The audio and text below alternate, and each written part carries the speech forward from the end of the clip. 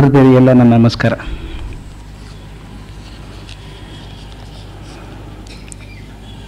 ಮತ್ತೊಮ್ಮೆ ಗೋಖಲೆ ಸಂಸ್ಥೆಗೆ ಬರುವಂತಾದದಕ್ಕೆ ನಾನು ಭಗವಂತನಿಗೆ ಋಣಿಯಾಗಿದ್ದೇನೆ. ಇದೀಗ ಪರಿಚಯ ಮಾಡ್ತಾ ಆತ್ಮೀಯರು ಒಂದೆರಡು ಮಾತು ಹೆಚ್ಚು ಹೇಳಿದರು. ಅದನ್ನು ದಯವಿಟ್ಟು ಸತ್ಯ ಅಂತ ಭಾವಿಸಬಾರದು. ಯಾಕಂದರೆ ಅವ್ರು ಹೇಳಿದ್ರಲ್ಲಿ ಹೆಚ್ಚು ವಿಶೇಷ ಇಲ್ಲ. ನನಗೇನೂ ಗೊತ್ತಿಲ್ಲ. ಒಂದು ಅವಕಾಶ ಕೊಟ್ಟದ್ದು ಅಂದರೆ ಇನ್ನೊಮ್ಮೆ ಸಂಸ್ಕೃತಿ ಪುಸ್ತಕ ಓದೋಕೆ ಆಯ್ತಲ್ಲ ಅಂತ ಸಂತೋಷ ಇದೆ. ಗೊತ್ತಿದೆ ಅಂತ ಭ್ರಮೆ ಇಲ್ಲ. ಗೊತ್ತಿದ್ದನ್ನು ಹೇಳ್ತೇನೆ ಅನ್ನೋ ಭ್ರಮೆ ಕೂಡ ಇಲ್ಲ. ಹೇಳಿದ ತಪ್ಪಾದರೆ ಮನಸ್ಸಿದೆ. ಇಲ್ಲಿ ನಮಗೆ ಡಿ ವಿ ಜಿಯವರಿಗಿರುವಂಥ ಪೂಜ್ಯ ಭಾವಾಗಲಿ, ಆ ಗೌರವ ಎಷ್ಟೊಂದಿದೆ ಅಂದರೆ ಇಲ್ಲಿಂದ ಯಾವ ಆಹ್ವಾನ ಬಂದರೂ ಇಲ್ಲ ಅನ್ನೋಕ್ಕಾಗೋದಿಲ್ಲ. ಆ ಪ್ರೀತಿಯಿಂದ ಬಂದದ್ದು ನಾನು ಅಷ್ಟೇನೆ ವಿದ್ಯಾರ್ಥಿಯಾಗಿ ಬಂದವನು. ಇವತ್ತು ಬೆಳಗ್ಗೆ ಒಂದು ಕಾರ್ಯಕ್ರಮದಲ್ಲಿ ಒಂದು ಮಾತನ್ನು ಹೇಳಿ ನಾನು ಮಾತು ಶುರು ಮಾಡಿದ್ದೆ. ಅದು ಇನ್ನೊಂದು ಪುನರುಕ್ತಿ ಮಾಡಬಹುದು ಅನಿಸುತ್ತೆ. ಬೆಳಿಗ್ಗೆ ಇದ್ದವರು ಯಾರಾದರೂ ಇದ್ದರೆ ಕ್ಷಮಿಸಬೇಕು, ಪುನರುಕ್ತಿ ಆಗ್ತದೆ. ನಾನು ಬಹಳ ಹಿಂದೆ ಈ ಚಾರ್ಲಿ ಚಾಪ್ಲಿನ್ ಒಂದು ಸಿನಿಮಾ ನೋಡಿದ್ದೆ. ಟ್ರ್ಯಾಂಪ್ ಅಂತ ಇರಬಹುದು ಅಂತ ನೆನಪು. ಆ ಟ್ರ್ಯಾಂಪ್ ಸಿನಿಮಾದಲ್ಲಿ ಚಾರ್ಲಿ ಚಾಪ್ಲಿನ್ ಭಿಕ್ಷುಕ ಇರ್ತಾನೆ. ಭಿಕ್ಷೆ ಬಿಡ್ತಾನೆ ಮೂರ್ನಾಲ್ಕು ದಿವಸ ಊಟಕ್ಕೇನೂ ಸಿಕ್ಕಿಲ್ಲ ಅವನಿಗೆ. ತುಂಬ ಒದ್ದಾಡಿ ಕಂಗಾಲಾಗಿ ಹೋಗಿದ್ದಾನೆ. ರಾತ್ರಿ ನೀರು ಕುಡಿದು ಮಲ್ಕೊಂಡು ಬೆಳಿಗ್ಗೆ ಆದರೂ ಏನಾದರೂ ಸಿಕ್ಕಿತೆ ಅಂತ ಹೋಗ್ತಾನೆ. ಎಷ್ಟು ಚೆನ್ನಾಗಿ ಆ ಡೈರೆಕ್ಟರ್ ಶೂಟ್ ಮಾಡಿದ್ದಾರೆ ಅಂದರೆ ಆತ ಬೆಳಿಗ್ಗೆ ಎದ್ದಾಗ ನಡ್ಕೊಂಡು ಹೋಗ್ತಾ ಇದ್ದಾನೆ. ಕಂಗಾಲಾಗಿ ಜೋತ್ ಬಿದ್ದು ಹೋಗ್ತಾ ಇದ್ದಾನೆ. ದೇಹದಲ್ಲಿ ಶಕ್ತಿ ಇಲ್ಲ. ಕಾಲು ಎಳ್ಕೊಂಡು ಹೋಗ್ಬೇಕಾದ್ರೆ ಒಂದು ರಸ್ತೆ ಚೌಕ ಬರುತ್ತೆ. ನಾಲ್ಕು ರಸ್ತೆ ಕೂಡುವಂಥ ಒಂದು ಚೌಕ. ಅಲ್ಲೊಂದು ಕ್ಷಣ ನಿಂತ್ಕೋತಾನೆ, ಯಾವ ಕಡೆ ಹೋದ್ರೆ ನನಗೆ ಅನ್ನ ಸಿಕ್ಕೀತು ಇವತ್ತು? ಅಂತ. ಈ ಕಡೆ ಹೋದ್ರೆ ಸರಿನಾ, ಈ ಕಡೆ ಹೋದ್ರೆ ಸರಿನಾ? ಅಂತ ವಿಚಾರ ಮಾಡಿ ಮಾಡಿ ಅಳದು ಸುರಿದು, ಬಹುಶಃ ಈ ರೋಡಿಗೆ ಹೋದ್ರೆ ಸಿಕ್ಕಿತು ಅಂತ ಹೋಗ್ತಾನೆ. ಸ್ವಲ್ಪ ಮುಂದೆ ಹೋಗಿ ರಸ್ತೆ ಪಕ್ಕದಲ್ಲಿ ಫುಟ್ಪಾತ್ ಇರುತ್ತಲ್ಲ, ಅಲ್ಲೊಂದು ಚಾಪೆ ಹಾಕೊಂಡು ಕೂತ್ಕೋತಾನೆ. ಈಗಿನ ಹಸು ಬೆಳಗಾಗ್ತಾ ಇದೆ, ಜಾಸ್ತಿ ಜನ ಬಂದಾಗ ನನಗೇನಾದರೂ ಆಹಾರ ಸಿಕ್ಕಿತು, ಯಾರಾದರೂ ಹಣಕಾಸು ಕೊಟ್ಟಾರು ಅಂತ ಕೇಳ್ಕೊತಿರ್ತಾನೆ. ಅವನಿಗೆ ಆಗಿನ ಕಾಲ ನೋಡಿ ಕಾರ್ ಜಾಸ್ತಿ ಹೋಗ್ತಿರ್ಲಿಲ್ಲ ರೋಡಲ್ಲಿ ಆ ಸಿನಿಮಾದಲ್ಲಿ ಸೈಕಲ್ ಜಾಸ್ತಿ ಹೋಗ್ತಾ ಇತ್ತು. ನಡ್ಕೊಂಡು ಜನ ಹೋಗ್ತಾ ಇದ್ರು. ಅವನಿಗೆ ಸ್ವಲ್ಪ ಆಶ್ಚರ್ಯ ಆಯಿತು. ಒಂದು ಹತ್ತು ನಿಮಿಷ ಆದಮೇಲೆ. ಯಾಕಾಯಿತು ಅಂದರೆ ಬಂದವರು ಒಂದು ಭಿಕ್ಷೆ ಕೊಡೋ ದೂರ ಇರಲಿ, ದೂರ ಆಯಿತು. ಬಂದವರು ನಮಸ್ಕಾರ ಮಾಡಿ ಹೋಗ್ತಾ ಇದ್ರು ಅಂತ ಅವನಿಗೆ. ಅವನಿಗೆ ಆಶ್ಚರ್ಯ ನನಗೆ ಯಾರು ನಮಸ್ಕಾರ ಮಾಡ್ತಿದ್ದಾರಪ್ಪ ಇವರಲ್ಲಿ ನಾನು ಭಿಕ್ಷೆ ಬೇಡೋ ಕುತ್ಕೊಂಡವನು, ನನಗೆ ಯಾಕೆ ನಮಸ್ಕಾರ ಮಾಡ್ತಾರೆ? ಅಂತ.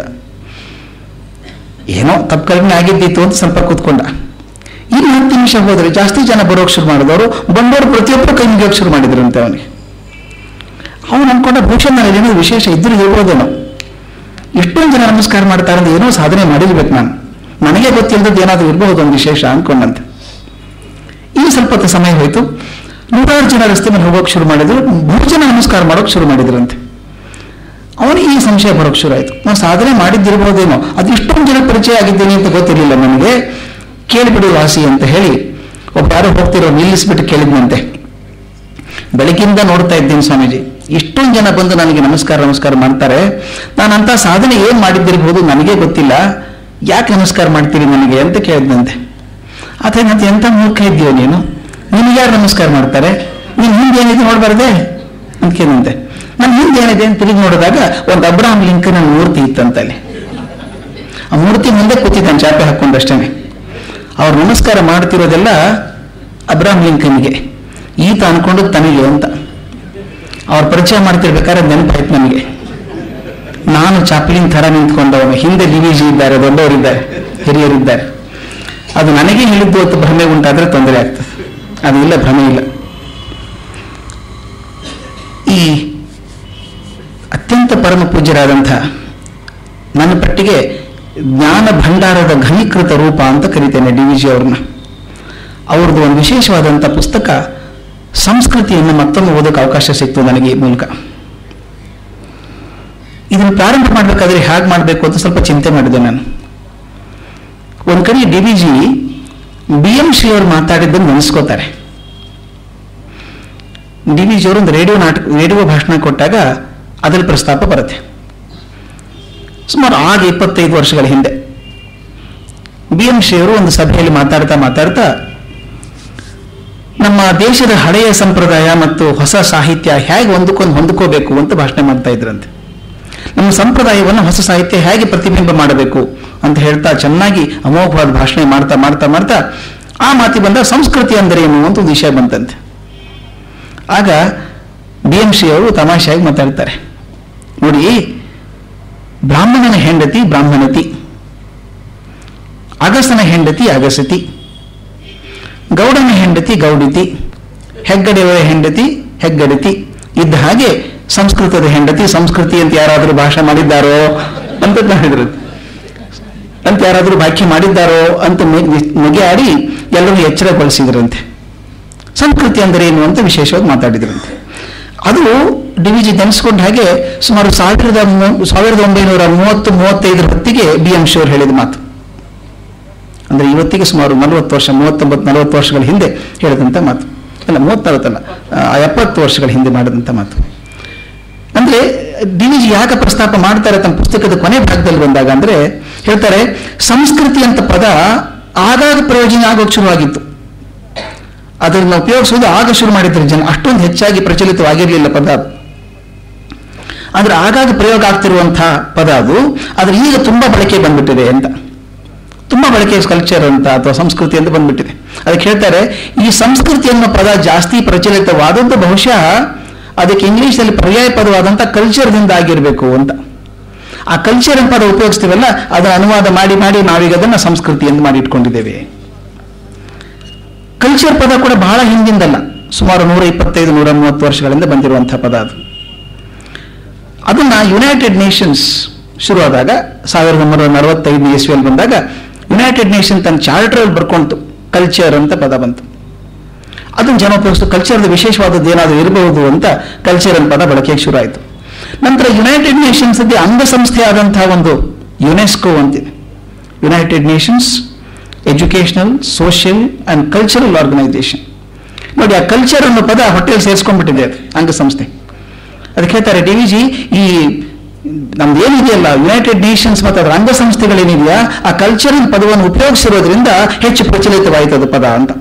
ಕಲ್ಚರಲ್ ಪದ ಪರಿಚಯ ಆಗೋಕೆ ಶುರು ಆಯಿತು ನಮ್ಮ ಭಾರತ ಸಂಸ್ಕಾರ, ಸರ್- ಸರ್ಕಾರ ಕೂಡ ಕೆಲವು ವರ್ಷಗಳ ಹಿಂದೆ ಒಂದು ಸಂಸ್ಕೃತಿ ಇಲಾಖೆಯನ್ನೇ ನೇಮಿಸ್ತು ಮೊದಲಿರಲಿಲ್ಲ ಅದು. ಸಂಸ್ಕೃತಿ ಇಲಾಖೆ ಅಂತ ಬಂತು. ನಮ್ಮವರಿಬ್ಬರು ಯಾರೋ ಅದಕ್ಕೆ ಮಂತ್ರಿಗಳು ಆಗಿದ್ರು. ಆನಂತರ ಕನ್ನಡ ಸರ್ಕಾರದಲ್ಲೂ, ಕರ್ನಾಟಕ ಸರ್ಕಾರದಲ್ಲೂ ಕೂಡ ಒಂದು ಕನ್ನಡ ಮತ್ತು ಸಂಸ್ಕೃತಿ ಇಲಾಖೆ ಅಂತ ಇದೆ. ಅದಕ್ಕೆ ತಮಾಷೆಯಿಂದ ಹೇಳ್ತಾ ಇದ್ರು. ಇದು ಡಿ ವಿ ಹೇಳಿದ ಮಾತಲ್ಲ, ಆ ಕಾಲದಲ್ಲಿ ತಿಂಡಿಪೋತರ ಸಂಘದಲ್ಲಿ ಬಂದಂಥ ಮಾತು. ತಿಂಡಿಪೋತರ ಸಂಘ ಅಂತ ಒಂದಿತ್ತು. ಡಿ ವಿ ಅದಕ್ಕೆ ಅಧ್ಯಕ್ಷರಾಗಿದ್ದವರು. ಕೆಲವು ದಿವಸ, ಚೆನ್ನಾಗಿ ತಿನ್ಬೇಕು ಅಂತ. ಸೊಗಸು ಎಲ್ಲದರಲ್ಲೂ ಇರಬೇಕು ಅಂತ, ಒಂದರಲ್ಲಿ ಯಾಕೆ ಇರಬೇಕು ತಿನ್ನೋದ್ರಲ್ಲೂ ಇರಬೇಕು.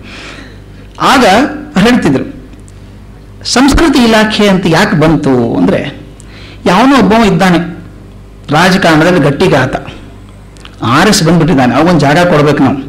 ಅಂಥ ಬಲಾಢ್ಯ ನನ್ನ ಅವನು ರೆವಿನ್ಯೂ ಕೊಡುವಷ್ಟು ಪಿ ಡಬ್ಲ್ಯೂ ಕೊಡುವಷ್ಟು ಬಲಾಢ್ಯ ಅಲ್ಲ. ಅವನು ಬಿಡೋ ಹಂಗೂ ಇಲ್ಲ.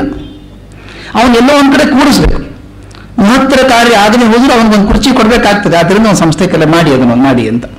ಸಂಸ್ಕೃತಿ ಇಲಾಖೆ ಅಂತ ಮಾಡಿ ಒಬ್ಬರು ಕೂಡಿಸಿದರು ಅಂತ ಹೇಳ್ತಾರೆ. ಆನಂದ್ ನನಗೆ ಅನುಭವ ಆದದ್ದು. ನಾನು ಅನುಭವ ಹೇಳ್ಕೋಬೇಕಿಲ್ಲಿ. ಸುಮಾರು ಒಂದು ಹದಿನೈದು, ಹದಿನಾರು ವರ್ಷಗಳ ಹಿಂದೆ ಅಥವಾ ಇಪ್ಪತ್ತು ವರ್ಷ ಆಗಿರ್ಬೇಕೇನೋ. ನಮ್ಮ ಕಾಲೇಜಲ್ಲಿ ಪ್ರತಿ ವರ್ಷ ಒಂದು ಸೆಮಿನಾರ್ ಮಾಡ್ತಾ ಇದ್ವಿ. ಸಂಸ್ಕೃತ ಕವಿಗಳ ಪರಿಚಯ ಮಾಡೋದು ಅಂತ ಹೇಳಿ ಈ ಭಾಷಾ ನಾಟಕ ಚಕ್ರದ ಮೇಲೆ ಒಂದು ಸೆಮಿನಾರ್ ಮಾಡಿ ಭಾರತದ ಅತ್ಯಂತ ಮೇಧಾವಿಗಳಾದಂತಹ ಸಂಸ್ಕೃತ ವಿದ್ವಾಂಸರೆಲ್ಲ ಬಂದಿದ್ರು. ಡಾಕ್ಟರ್ ಕೆ ಕೃಷ್ಣಮೂರ್ತಿಯವರು, ಎನ್ ಎಸ್ ಅನಂತರಂಗಾಚಾರ್ ರಂಗನಾಥ್ ಶರ್ಮರು ಹಾಗೆ ಉತ್ತರ ಭಾರತದಂತಹ ವಾರಣಾಸಿಯಿಂದ ದೊಡ್ಡ ದೊಡ್ಡ ಪಂಡಿತರೆಲ್ಲ ಬಂದು ಮೂರು ದಿವಸದ ಮಟ್ಟಿಗೆ ತುಂಬಾ ಚರ್ಚೆ ಮಾಡಿ ವಿಚಾರ ಮಾಡಿದರು. ಒಂದು ಪುಸ್ತಕ ಕೂಡ ಬಂತು ಭಾಷಾ ಪ್ರಶಸ್ತಿ ಅಂತ ಪುಸ್ತಕ ತಂದ್ವಿ. ಒಂದು ತಪ್ಪು ಮಾಡಿಬಿಟ್ಟೆ ನಾನು ಅವಾಗ. ಯಾವುದೋ ಒತ್ತಡಕ್ಕೆ ಮಾಡೋದು ಒಂದು ತಪ್ಪು ಮಾಡಿಬಿಟ್ಟೆ. ಪ್ರಾರಂಭೋತ್ಸವ ತುಂಬಾ ಚೆನ್ನಾಗಿ ಆಯಿತು. ಮೂರನೇ ದಿವಸ ಕೊನೆಯದೊಂದು ಮುಕ್ತಾಯ ಸಮಾರಂಭ ಅಂತ ಒಂದು ಇರುತ್ತಲ್ಲ, ಅದಕ್ಕೆ ಯಾರೋ ನನ್ನ ಕಿವಿ ತುಂಬಿ ಮಿನಿಸ್ಟರ್ನ ಕರೆದ್ರೆ ಒಳ್ಳೆಯದು ಕಲ್ಚರ್ ಮಿನಿಸ್ಟರ್ ಕರೆದ್ಬಿಡಿ, ಚೆನ್ನಾಗಿರುತ್ತೆ ಪ್ರೋಗ್ರಾಮ್ ಮುಗೀತದೆ ಅಂತ. ಅವ್ರು ಒಂದು ಉಪಾಯ ಕೂಡ ಹೇಳಿಕೊಟ್ಟಿದ್ದು. ಅದು ಕುಯುಕ್ತಿ ಅಂತ ಈಗ ಅನಿಸ್ತದೆ ನನಗದು. ಅವ್ರು ಹೇಳಿದ್ದು ಅವ್ರನ್ನ ಕರೆದು ಬಿಟ್ಟರೆ ಸ್ವಲ್ಪ ಧನ ಸಹಾಯ ಮಾಡಬಹುದು ಅನ್ನೋ ಕೆಲಸಕ್ಕೆ, ಕಾರ್ಯಕ್ರಮಕ್ಕೆ ಕರೀರಿ ಎಂದರು ಅವ್ರನ್ನ ಕರೆದ್ವಿ, ಒಪ್ಕೊಂಡ್ರು ಒಪ್ಕೊಂಡ್ಬಿಟ್ಟು ಸಾಯಂಕಾಲ ನಾಲ್ಕು ಗಂಟೆಗೆ ಬರಬೇಕು ಸ್ವಾಮಿ ಅಂತ ಹೇಳಿದ್ವಿ. ಪ್ರಿಂಟ್ ಆಯ್ತು ಇನ್ವಿಟೇಷನ್ ನನಗೆ ಸ್ವಲ್ಪ ಅವ್ರ ಬಗ್ಗೆ ಅನುಮಾನ ಇರೋದ್ರಿಂದ ಒಬ್ಬ ಮೇಷ್ಟ್ರ ಅವ್ರ ಮನೆ ಮುಂದೆ ಕೂಡಿಸ್ಬಿಟ್ಟಿದೆ. ಆ ಕರ್ಕೊಂಡ್ಬರೋ ಜವಾಬ್ದಾರಿ ನಿಮ್ಮ ಸ್ವಾಮಿ ನಾಲ್ಕು ಗಂಟೆಗೆ ಬರೋದಿಲ್ಲ ಅವ್ರು ಕರೆಕ್ಟ್ ಟೈಮ್ಗೆ ಎರಡೂವರೆ, ಮೂರು ಗಂಟೆಗೆ ಒಂದ್ಸಲ ಫೋನ್ ಮಾಡಿದೆ, ಏನು ಮಿನಿಸ್ಟರ್ ರೆಡಿ ಆಗಿದ್ದಾರಾ? ಬರ್ತಿದ್ದಾರಾ? ನಾಲ್ಕು ಗಂಟೆ ಕಾರ್ಯಕ್ರಮ ಶುರು ಅಲ್ವಾ ಅಂತ. ನನ್ನ ಸ್ನೇಹಿತರು ಹೇಳಿದ್ರು, ಅಲ್ಲಿ ಕೂತಿದಾರಲ್ಲ ಅವರು. ಅವ್ರು, ಇಲ್ಲೇ ಇಲ್ಲ ಸರ್ ಮನೇಲಿ. ಅಲ್ಲಪ್ಪ, ಬರೋದು ಏನಾದರೂ ಪಿ ಎಗ್ ಗೊತ್ತಾ? ಅಂತ. ಪಿ ಎಗೂ ಗೊತ್ತಿಲ್ಲ ಸರ್, ಯಾವಾಗ ಬರ್ತಾರೋ ಗೊತ್ತಿಲ್ಲ. ಏನೋ ಫ್ಯಾಮಿಲಿ ಫಂಕ್ಷನ್ ಅಂತ ಎಲ್ಲೋ ಹೋಗಿದಾರಂತೆ ಅಂತ ಹೇಳಿದರು. ಆಯ್ತು, ಬಂದಾರು. ಏನು ಇದ್ರು ಕೂಡ ಜವಾಬ್ದಾರಿ ಇದ್ದವರು ಮಾತು ಕೊಟ್ಟವರು ಹೊತ್ತಿಗೆ ಬರ್ತಾರೆ ಅಂತ ನಂಬಿಕೆ ನಮಗೆಲ್ಲಾನು. ಮೂರುವರೆ, ಮೂರು ಮುಕ್ಕಾಲಾಯ್ತು ಅವ್ರ ಪಿ ಎ ಫೋನ್ ನನಗೆ ಟೆನ್ಷನ್ ಆಗ್ತಾ ಇದೆ. ದೊಡ್ಡ ದೊಡ್ಡ ವಿದ್ವಾಂಸರೆಲ್ಲ ಬಂದಿದ್ದಾರೆ. ಅವ್ರನ್ನ ಕಾಯಿಸೋ ಚೆನ್ನಾಗಿರೋದಿಲ್ಲ ಅಂತ ಹೇಳಿ. ಆ ನಂತರ ಎಲ್ಲಿದ್ದಾರೆ ಮಿನಿಸ್ಟರ್ ಬರ್ತಾರಾ ಅಂತ ಕೇಳಿದೆ. ಅವ್ರ ಪಿ ಎ ಬಹಳ ಚೆನ್ನಾಗಿ ಹೇಳಿದ. ಸರ್ ಮೂರುವರೆ ಆದರೂ ಬರದೇ ಹೋದ್ರೆ ಬರಲ್ಲ ಬಿಡಿ ಸರ್ ಅವರು. ಅಲ್ಲಪ್ಪ, ಬರೋದಿಲ್ಲ ಅಂತ ತಿಳಿಸ್ಲಿಲ್ಲ ನನಗೆ ಅವರು.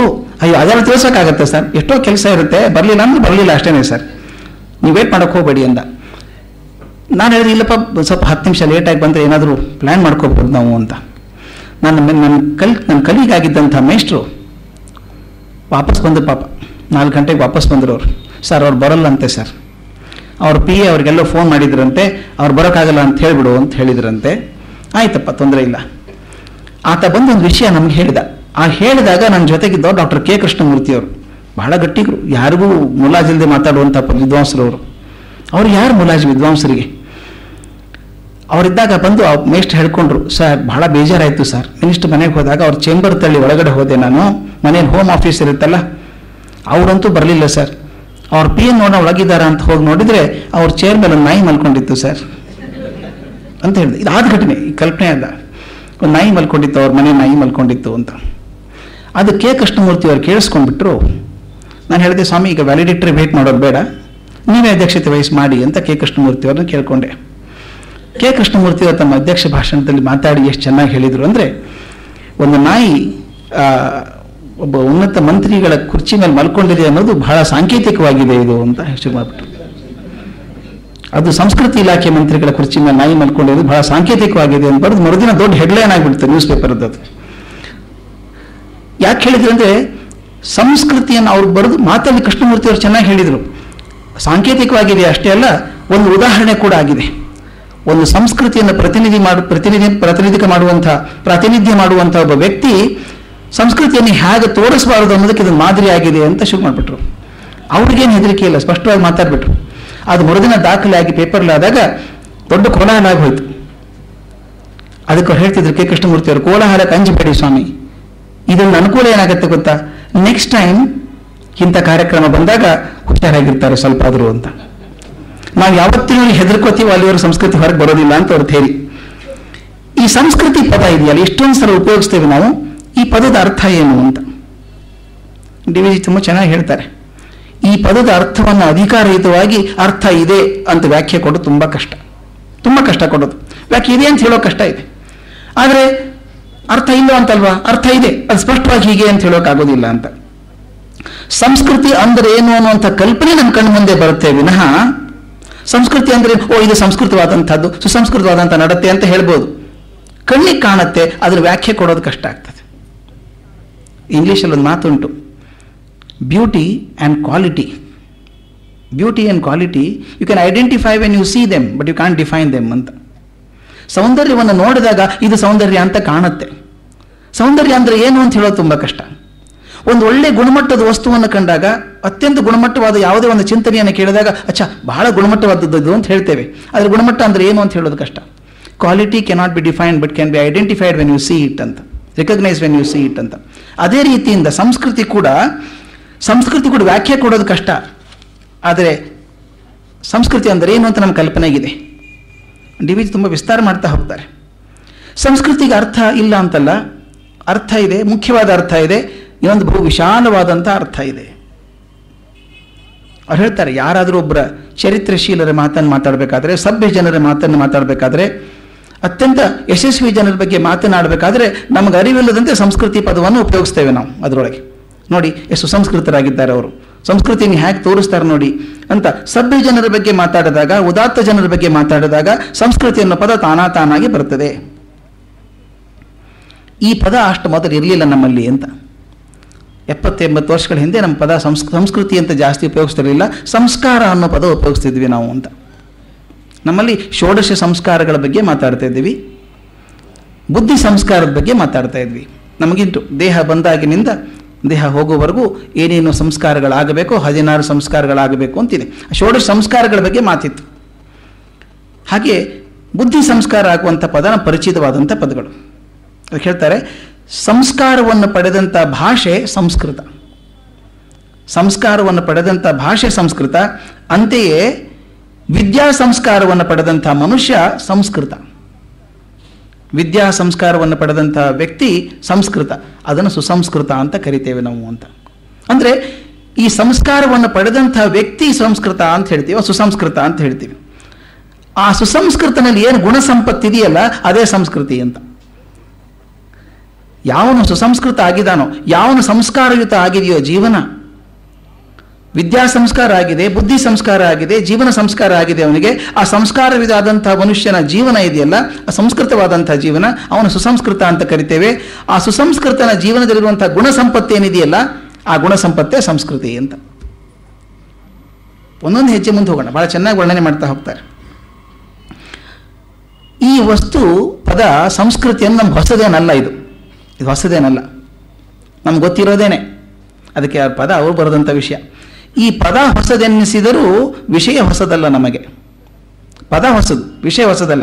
ಅದಕ್ಕೆ ಹೇಳ್ತಾರೆ ಅವರು ಮರೆತು ಹೋದದ್ದು ಜ್ಞಾಪಕಕ್ಕೆ ಬಂದ ಹಾಗಿದೆ ಅಂತ. ಎಲ್ಲೂ ಇಟ್ಬಿಟ್ಟಿದ್ದೀನಿ ಸಿಗ್ತಾ ಇಲ್ಲ ಸಿಗ್ತಾ ಇಲ್ಲ ಅಂತ ಹುಡುಕ್ತೀವಿ. ಯಾವತ್ತೋ ಸಿಗ್ಬಿಡುತ್ತೆ. ನಮ್ಮ ಸಾಮಾನ್ಯವಾಗಿ ಮಧ್ಯಮ ವರ್ಗದವ್ರಿಗೆ ಆಗೋದು ಕಷ್ಟ ಇದ್ದೇನೆ. ಬೇಕಾದ ವಸ್ತು ಸಿಗೋದಿಲ್ಲ. ಅದು ಬೇಡ ಅಂದಿವಾಗ ಏನೋ ಹುಡುಕೋಗಿ ಇನ್ನೊಂದೇನೋ ಸಿಕ್ಕಿಬಿಡ್ತವೆ ಎಷ್ಟು ಖುಷಿ ಆಗುತ್ತೆ ಗೊತ್ತಾ? ಅವತ್ತು ಎಷ್ಟು ಹುಡುಕಾಡಿದ್ವಲ್ಲಪ್ಪ ಇದಕ್ಕೆ? ಅಂತ ಅನಿಸುತ್ತೆ. ಅವ್ರು ಹೇಳ್ತಾರೆ, ಈ ಸಂಸ್ಕೃತಿ ಅನ್ನೋ ಪದ ಹಾಗಾಗಿದೆ ನಮಗೆ. ವಿಷಯ ಹೊಸದಲ್ಲ, ಪದ ಹೊಸದು. ಮರೆತು ಹೋದದ್ದು ನೆನಪಿಸಿದಂಗಾಗಿದೆ ಒಂದು ಹೇಳ್ತಾರೆ, ಹಳೆಯ ವಸ್ತು ಕಣ್ಣಿಗೆ ತಪ್ಪಿ ಹೋದದ್ದು ಈಗ ಹೊಸ ಹೊಳಪಿನಿಂದ ಮರಳಿ ಬರುತ್ತಿದೆ ಅಂತ. ಡಿ ವಿ ಜಿ ಮಾತು ಎಷ್ಟು ಚಂದ ಅಂದರೆ. ಕಳೆದು ಹೋದಂಥ ಒಂದು ವಸ್ತು ಕಣ್ತಪ್ಪಿ ಹೋಗಿತ್ತದು. ಹೊಸ ಹೊಳಪಿನಿಂದ ಬರ್ತಾ ಇದೆ ಅಂತ. ಈಗ ಹೊಸ ಹುಡುಗರು ಮನೇಲಿ ನೋಡ್ಬೇಕು ನೀವು. ನಾವೆಲ್ಲ ಬೆಳೆದಾಗ ಮನೆಯಲ್ಲಿ ಹಂಡೆಯಲ್ಲಿ ನೀರು ಕಾಯಿಸೋದುಂಟು. ತಾಮ್ರದ ಹಂಡೆಯಲ್ಲಿ ಇಟ್ಟು ನೆಲದಲ್ಲಿ ಹಾಕಿ ಕಟ್ಟಿಗೆ ಹಚ್ಚಿ ನೀರು ಕಾಯಿಸೋದಿತ್ತು. ಗೀಸರ್ ಬಂದ್ಮೇಲೆ ಹಂಡೆ ಏನು ಮಾಡೋದು? ಹಂಡೆ ಎಲ್ಲ ಕಿತ್ತು ಹಾಕಿ ಅಟ್ಟದ ಮೇಲೆ ಇಟ್ಟದ್ದಾಯಿತು. ಸಣ್ಣ ಸಣ್ಣ ತಪ್ಪಲೆಗಳಿತ್ತು ಮನೆಯಲ್ಲೆಲ್ಲ. ತಾಮ್ರ ತಪ್ಪಲೆಗಳು, ತಾಮ್ರ ತಂಬಿಗೆಗಳು, ತಾಮ್ರ ಲೋಟ ಇತ್ತು ಮೊದಲೆಲ್ಲ ಮಾಡಬೇಕಾದ್ರೆ. ಹುಡುಗರಾಗಿದ್ದಾಗ ತಾಮ್ರ ಲೋಟದಲ್ಲಿ ನೀರು ಕುಡಿಬೇಕು ಅಂತ ಆಯಿತು ಅದೆಲ್ಲ ಹೋಯಿತು. ಅಟ್ಟದ ಮೇಲೆ ಹೋಯ್ತು, ಸ್ಟೇನ್ಲೆಸ್ ಸ್ಟೀಲ್ ಬಂತು, ಗ್ಲಾಸ್ ಬಂತು, ಎಲ್ಲ ಬಂತು. ಈಗೇನಾಗ್ತಿದೆ ಅಂದರೆ ನಾನು ಬಾಂಬೆಗೆ ನನ್ನ ಸ್ನೇಹಿತರ ಮನೆಗೆ ಹೋದಾಗ ಅವ್ರ ಮನೆ ಹಾಲಿಗೆ ಹೋದರೆ ಮ್ಯೂಸಿಯಂ ಆದಂಗೆ ಆಗ್ಬಿಟ್ಟಿದೆ ಹಾಲ್. ಹಳೆ ತಪ್ಪಲೆ ಅದನ್ನು ಉಜ್ಜಿ ಉಜ್ಜಿ ಪಾಲಿಷ್ ಮಾಡಿ ಅದಕ್ಕೆ ಹಾಕಿ ಸೆಂಟ್ರಲ್ಲಿ ಇಟ್ಟಿದ್ದಾರೆ ಹಾಲ್ ಮಧ್ಯದಲ್ಲಿ ಇಟ್ಟು ಅದರಲ್ಲಿ ಫ್ಲವರ್ ಡೆಕೋರೇಷನ್. ನಾನು ಅಡ್ಡಿ ಇಲ್ಲಪ್ಪ ನಮ್ಮ ಹಂಡೆಗೆ ಒಂದು ಕಾಲ ಬಂತು ಹಾಗಾದರೆ. ಅದನ್ನು ಯಾರೂ ಕೇಳ್ತಿರ್ಲಿಲ್ಲ ಅವಾಗ ಹಂಡೆ. ಈಗ ತಾಮ್ರ ಹಂಡೆ ಕೊಂಡ್ಕೊಂಬರ್ತಾರೆ ಕೊಂಡ್ಕೊಂಬಂದು ಪಾಲಿಷ್ ಮಾಡಿ ಸೆಂಟರ್ದಲ್ಲಿ ಇರ್ತಾರೆ ಒಬ್ಬರ ಮನೆಗೆ ಎಷ್ಟು ಚೆನ್ನಾಗಿ ಅಂದರೆ ನಾವು ಮೊದಲು ಕಲಶ ಇಡ್ತಾ ಇದ್ವಲ್ಲ ಮನೆಯಲ್ಲಿ ಹಾಗೆ ಈ ಹಳೆ ತಾಮ್ರ ತಂಬಿಕೆಗಳನ್ನು ಜೋಡಿಸಿಟ್ಟು ಒಂದರ ಮೇಲೆ ಒಂದಿಟ್ಟು ಕಲಶ ಇಟ್ಟು ಅಲಂಕಾರ ಮಾಡಿಟ್ಟಿದ್ದಾರೆ. ಅದು ಡಿ ವಿ ಹೇಳೋದು ಅನಿಸುತ್ತೆ ನನಗೆ. ಯಾವುದು ಕಣ್ಣಿಗೆ ತಪ್ಪಿ ಹೋಗಿತ್ತೋ ಅದು ಹೊಸ ಹೊಳಪಿನಿಂದ ಮತ್ತೆ ಬರ್ತಾ ಇದೆ ನಮಗೀಗ ಅಂತ. ನಮ್ಗೆ ಗೊತ್ತಿದ್ದಿದ್ದೆ ಸಂಸ್ಕೃತಿ ಪದ. ಪದ ಗೊತ್ತಿರಲಿಲ್ಲ, ವಿಷಯ ಗೊತ್ತಿತ್ತು. ಸ್ವಲ್ಪ ಮರೆತಂಗಾಗಿತ್ತು. ಅದನ್ನ ಹೊಸ ಹೊಳಪಿನಿಂದ ನಮ್ಮ ಕಣ್ಮುಂದೆ ಬರ್ತಾ ಇದೆ. ಒಂದು ಅತ್ಯಂತ ಮುಖ್ಯವಾದ ಮಾತನ್ನು ಡಿ ವಿ ಜಿ ಹೇಳ್ತಾರೆ. ಯಾಕೆ ವಾಪಸ್ ಬರ್ತದೆ ಹೇಳಿ ಅದು? ಅದರಲ್ಲಿ ಚೈತನ್ಯ ಇದೆ ಅಂತ. ಚೈತನ್ಯ ಇದ್ದಂಥ ವಸ್ತು ಯಾವತ್ತು ತಿರುಗಿ ಬಂದರೂ ಹೊಸ ಹೊಳಪಿನಿಂದ ಬರ್ತದೆ ಅದು. ಅದು ಚೈತನ್ಯ ಇಲ್ಲದೆ ಹೋದರೆ ಏನಾಗ್ತಿತ್ತು? ನಾನು ತಾಮ್ರದ ಹಂಡೆ ಬದಲು ಕಲ್ಪಿಸ್ಕೊಳ್ಳಿ, ಯಾವುದೋ ಮಣ್ಣಿಂದ ಮಾಡಿಟ್ಟಿದ್ದೆ ಅಂತ ಇಟ್ಕೊಳ್ಳಿ, ಸಣ್ಣದೊಂದು ಪೀಸ್ ಮುರಿದು ಹೋಗ್ಬಿಟ್ಟಿದ್ದು, ಬದುಕಿರಲಿಲ್ಲ, ಅದಿಷ್ಟು ದಿವಸ ಬದುಕ್ತಿರಲಿಲ್ಲ ಅದು. ಅಥವಾ ನಾವು ಸಣ್ಣವರಿದ್ದಾಗ ಈ ಜೋಳದ ಬೆಂಡಿನಿಂದ ರಥ ಎಲ್ಲ ಮಾಡ್ತಾ ಇದ್ವಿ ನಾವು. ಜೋಳದ ಬೆಂಡೆಲ್ಲ ಸೇರಿಸಿ ಸೇರಿಸಿ ಏನೋ ರಥ ಮಾಡ್ತಾ ಇದ್ವಿ. ಅದು ಉಳಿಲಿಕ್ಕಿಲ್ಲ, ಐವತ್ತು ವರ್ಷ ಆದ್ಮೇಲೆ ಹೋಗ್ಬಿಡುತ್ತೆ ಅದು. ಆದರೆ ತಾಮ್ರದ ಹಂಡೆ ಉಳ್ಕೊಂಡಿದೆ, ತಾಮ್ರದ ಚೆಂಬು ಉಳ್ಕೊಂಡಿದೆ, ತಂಬಿಗೆ ಉಳ್ಕೊಂಡಿದೆ, ಯಾಕಂದರೆ ಅದರಲ್ಲಿ ಚೈತನ್ಯ ಇದೆ ಅಂತ, ಶಕ್ತಿ ಇದೆ ಅಂತ. ಅದಕ್ಕೆ ಹೇಳ್ತಾರೆ ಕಣ್ ತಪ್ಪಿ ಮರೆಯಾಗಿದ್ದು ವಾಪಸ್ ಬಂದಿದೆಯಲ್ಲ ಹೊಸ ಹೊಳಪಿನಿಂದ ಈಗ? ಯಾಕೆ ಬಂತು ಅಂದರೆ, ನಮ್ಮ ನೆನಪಿಗೆ ಬಂತು ಅಂತ ಒಂದಾದರೆ ಅದರಲ್ಲಿ ಚೈತನ್ಯ ಇದೆ ಅಂತ ಆ ವಸ್ತುವಿನಲ್ಲಿ. ಆದ್ದರಿಂದ ಸಂಸ್ಕೃತಿ ಅನ್ನುವಂಥ ವಿಷಯದಲ್ಲಿ ತುಂಬ ಚೈತನ್ಯ ಇದೆ, ಮರಳಿ ಮರಳಿ ಬರುವಂಥ ಸಾಧ್ಯತೆ ಇದೆ ಅದಕ್ಕೆ ಅಂತ. ಅದಕ್ಕೆ ಹೇಳ್ತಾರೆ, ಇಂಗ್ಲೀಷ್ ಒಂದು ಪದ ಕಲ್ಚರ್ ಕೂಡ ಬಹಳ ಹಳೆಯದೇನಲ್ಲ ಅದು. ಅದರ ಮೂಲ ವಸ್ತು ಕಲ್ಚರ್ ಅಂತ ಪದದ ಮೂಲ ಧಾತು ಯಾವುದಪ್ಪ ಅಂದರೆ ಕಲ್ಟ್ ಅಥವಾ ಕಲ್ಟಸ್ ಅನ್ನುವಂಥ ಲ್ಯಾಟಿನ್ ಪದ. ಲ್ಯಾಟಿನ್ ಭಾಷೆಯಲ್ಲಿ ಕಲ್ಟ್ ಅಥವಾ ಕಲ್ಟಸ್ ಅಂತ. ಇದರ ಅರ್ಥ ಏನು? ಕಲ್ಟ್ ಅಥವಾ ಕಲ್ಟಸ್ ಅಂದರೆ ಗೌರವಿಸುವಂಥದ್ದು ನೆನಪಿನಲ್ಲಿಟ್ಕೊಳ್ಳುವಂಥದ್ದು ಬೆಳೆಸುವಂಥದ್ದು. ನೋಡಿ ಎಷ್ಟು ಚೆನ್ನಾಗಿರೋ ಪದ ಅದು. ಕಲ್ಟಸ್ ಅಥವಾ ಕಲ್ಟ್ ಅಂದರೆ ಲಕ್ಷ್ಯದಲ್ಲಿ ಇಟ್ಕೊಳ್ಬೇಕಾದಂಥದ್ದು ಗೌರವಿಸುವಂಥದ್ದು, ಬೆಳೆಸುವಂಥದ್ದು, ವ್ಯವಸಾಯ ಮಾಡುವಂಥದ್ದು. ಈ ಪ್ರಕ್ರಿಯೆಗೆ ಕಲ್ಟಸ್ ಅಂತ ಅರ್ಥ ಲ್ಯಾಟಿನ್ ಪದ್ಯದಲ್ಲಿ. ವರ್ಷಗಳು ಉಳಿದ ಹಾಗೆ, ಉರುಳಿದ ಹಾಗೆ. ಕಲ್ಟ್ ಅಥವಾ ಕಲ್ಟಸ್ ಪದ ಬಂತಲ್ಲ, ವರ್ಷಗಳು ಉರುಳಿದ ಹಾಗೆ ಉರುಳಿದ ಹಾಗೆ ಒಂದು ಪದ ಹೇಗೆ ವ್ಯತ್ಯಾಸ ಆಗ್ತಾ ಹೋಗ್ತದೆ ಅರ್ಥದಲ್ಲಿ ಅಂತ. ಡಿ ವಿ ಜಿ ಚೆನ್ನಾಗಿ ಗುರುತಿಸ್ತಾರೆ ಅಂದರೆ ಒಬ್ಬ ಭಾಷಾ ಕೂಡ ಗುರುತಿಸ್ಲಿಕ್ಕಿಲ್ಲ, ಅಷ್ಟು ಚೆನ್ನಾಗಿ ಗುರುತಿಸಿದ್ದಾರೆ. ಈ ಕಲ್ಟ್ ಅನ್ನೋದು ಗೌರವಿಸು ಮತ್ತು ವಿಸ್ತರಿಸು ಅಥವಾ ಲಕ್ಷ್ಯ ಇಡು ಅಥವಾ ಒಂದು ವ್ಯವಸಾಯ ಮಾಡು ಅನ್ನುವಂಥ ಅರ್ಥ ಇದೆಯಲ್ಲ, ಅದು ಎರಡು ಭಾಗ ಆಯಿತು ಅಂತ. ಕಲ್ಟಸ್ ಎರಡು ಭಾಗದಲ್ಲಿ ವಿಂಗಡಿ ಆಯಿತು ಅಂತ. ಯಾವ ಎರಡು ಭಾಗ ಅದು? ಒಂದು ಚಿಂತನೆಯ ವ್ಯವಸಾಯ ಆಯಿತು, ಇನ್ನೊಂದು ವ್ಯವಸ್ಥೆಯ ವ್ಯವಸಾಯ ಆಯಿತು ಅಂತ. ನಮ್ಮಲ್ಲಿ ಎರಡು ಬದಲಾವಣೆ ಆಗುತ್ತೆ ಯಾವತ್ತು ಮನಸ್ಸಲ್ಲಿ. ಜೀವನದಲ್ಲಿ ಬದಲಾವಣೆ ಆಗೋದು ಎರಡು ರೀತಿ ಬದಲಾವಣೆ ಆಗ್ತದೆ. ನಾನು ಸಣ್ಣದೊಂದು ಯಾವುದೋ ಬಾಡಿಗೆ ಮನೆಯಲ್ಲಿದ್ದೆ. ಸ್ವಲ್ಪ ನನ್ನ ಹಣಕಾಸಿನ ಸ್ಥಿತಿ ಉತ್ತಮವಾಯಿತು, ನಾನು ಮನೆ ಕಟ್ಸ್ಕೊಂಡು ಹೋದೆ. ಮನೆ ಕಟ್ಸಿದಾಗ ಯಾವುದೋ ಒಂದು ಫರ್ನಿಚರ್ ಹಾಕ್ಕೊಂಡಿದ್ದೆ. ಇನ್ನು ಸ್ವಲ್ಪ ಹೆಚ್ಚಿಗೆ ಅದು ಒಳ್ಳೆ ಫರ್ನಿಚರ್ ಹಾಕೋತೇನೆ ಅಂದರೆ ವ್ಯವಸ್ಥೆಯಲ್ಲಿ ಬದಲಾವಣೆ ಆಗ್ತಾ ಇದೆ.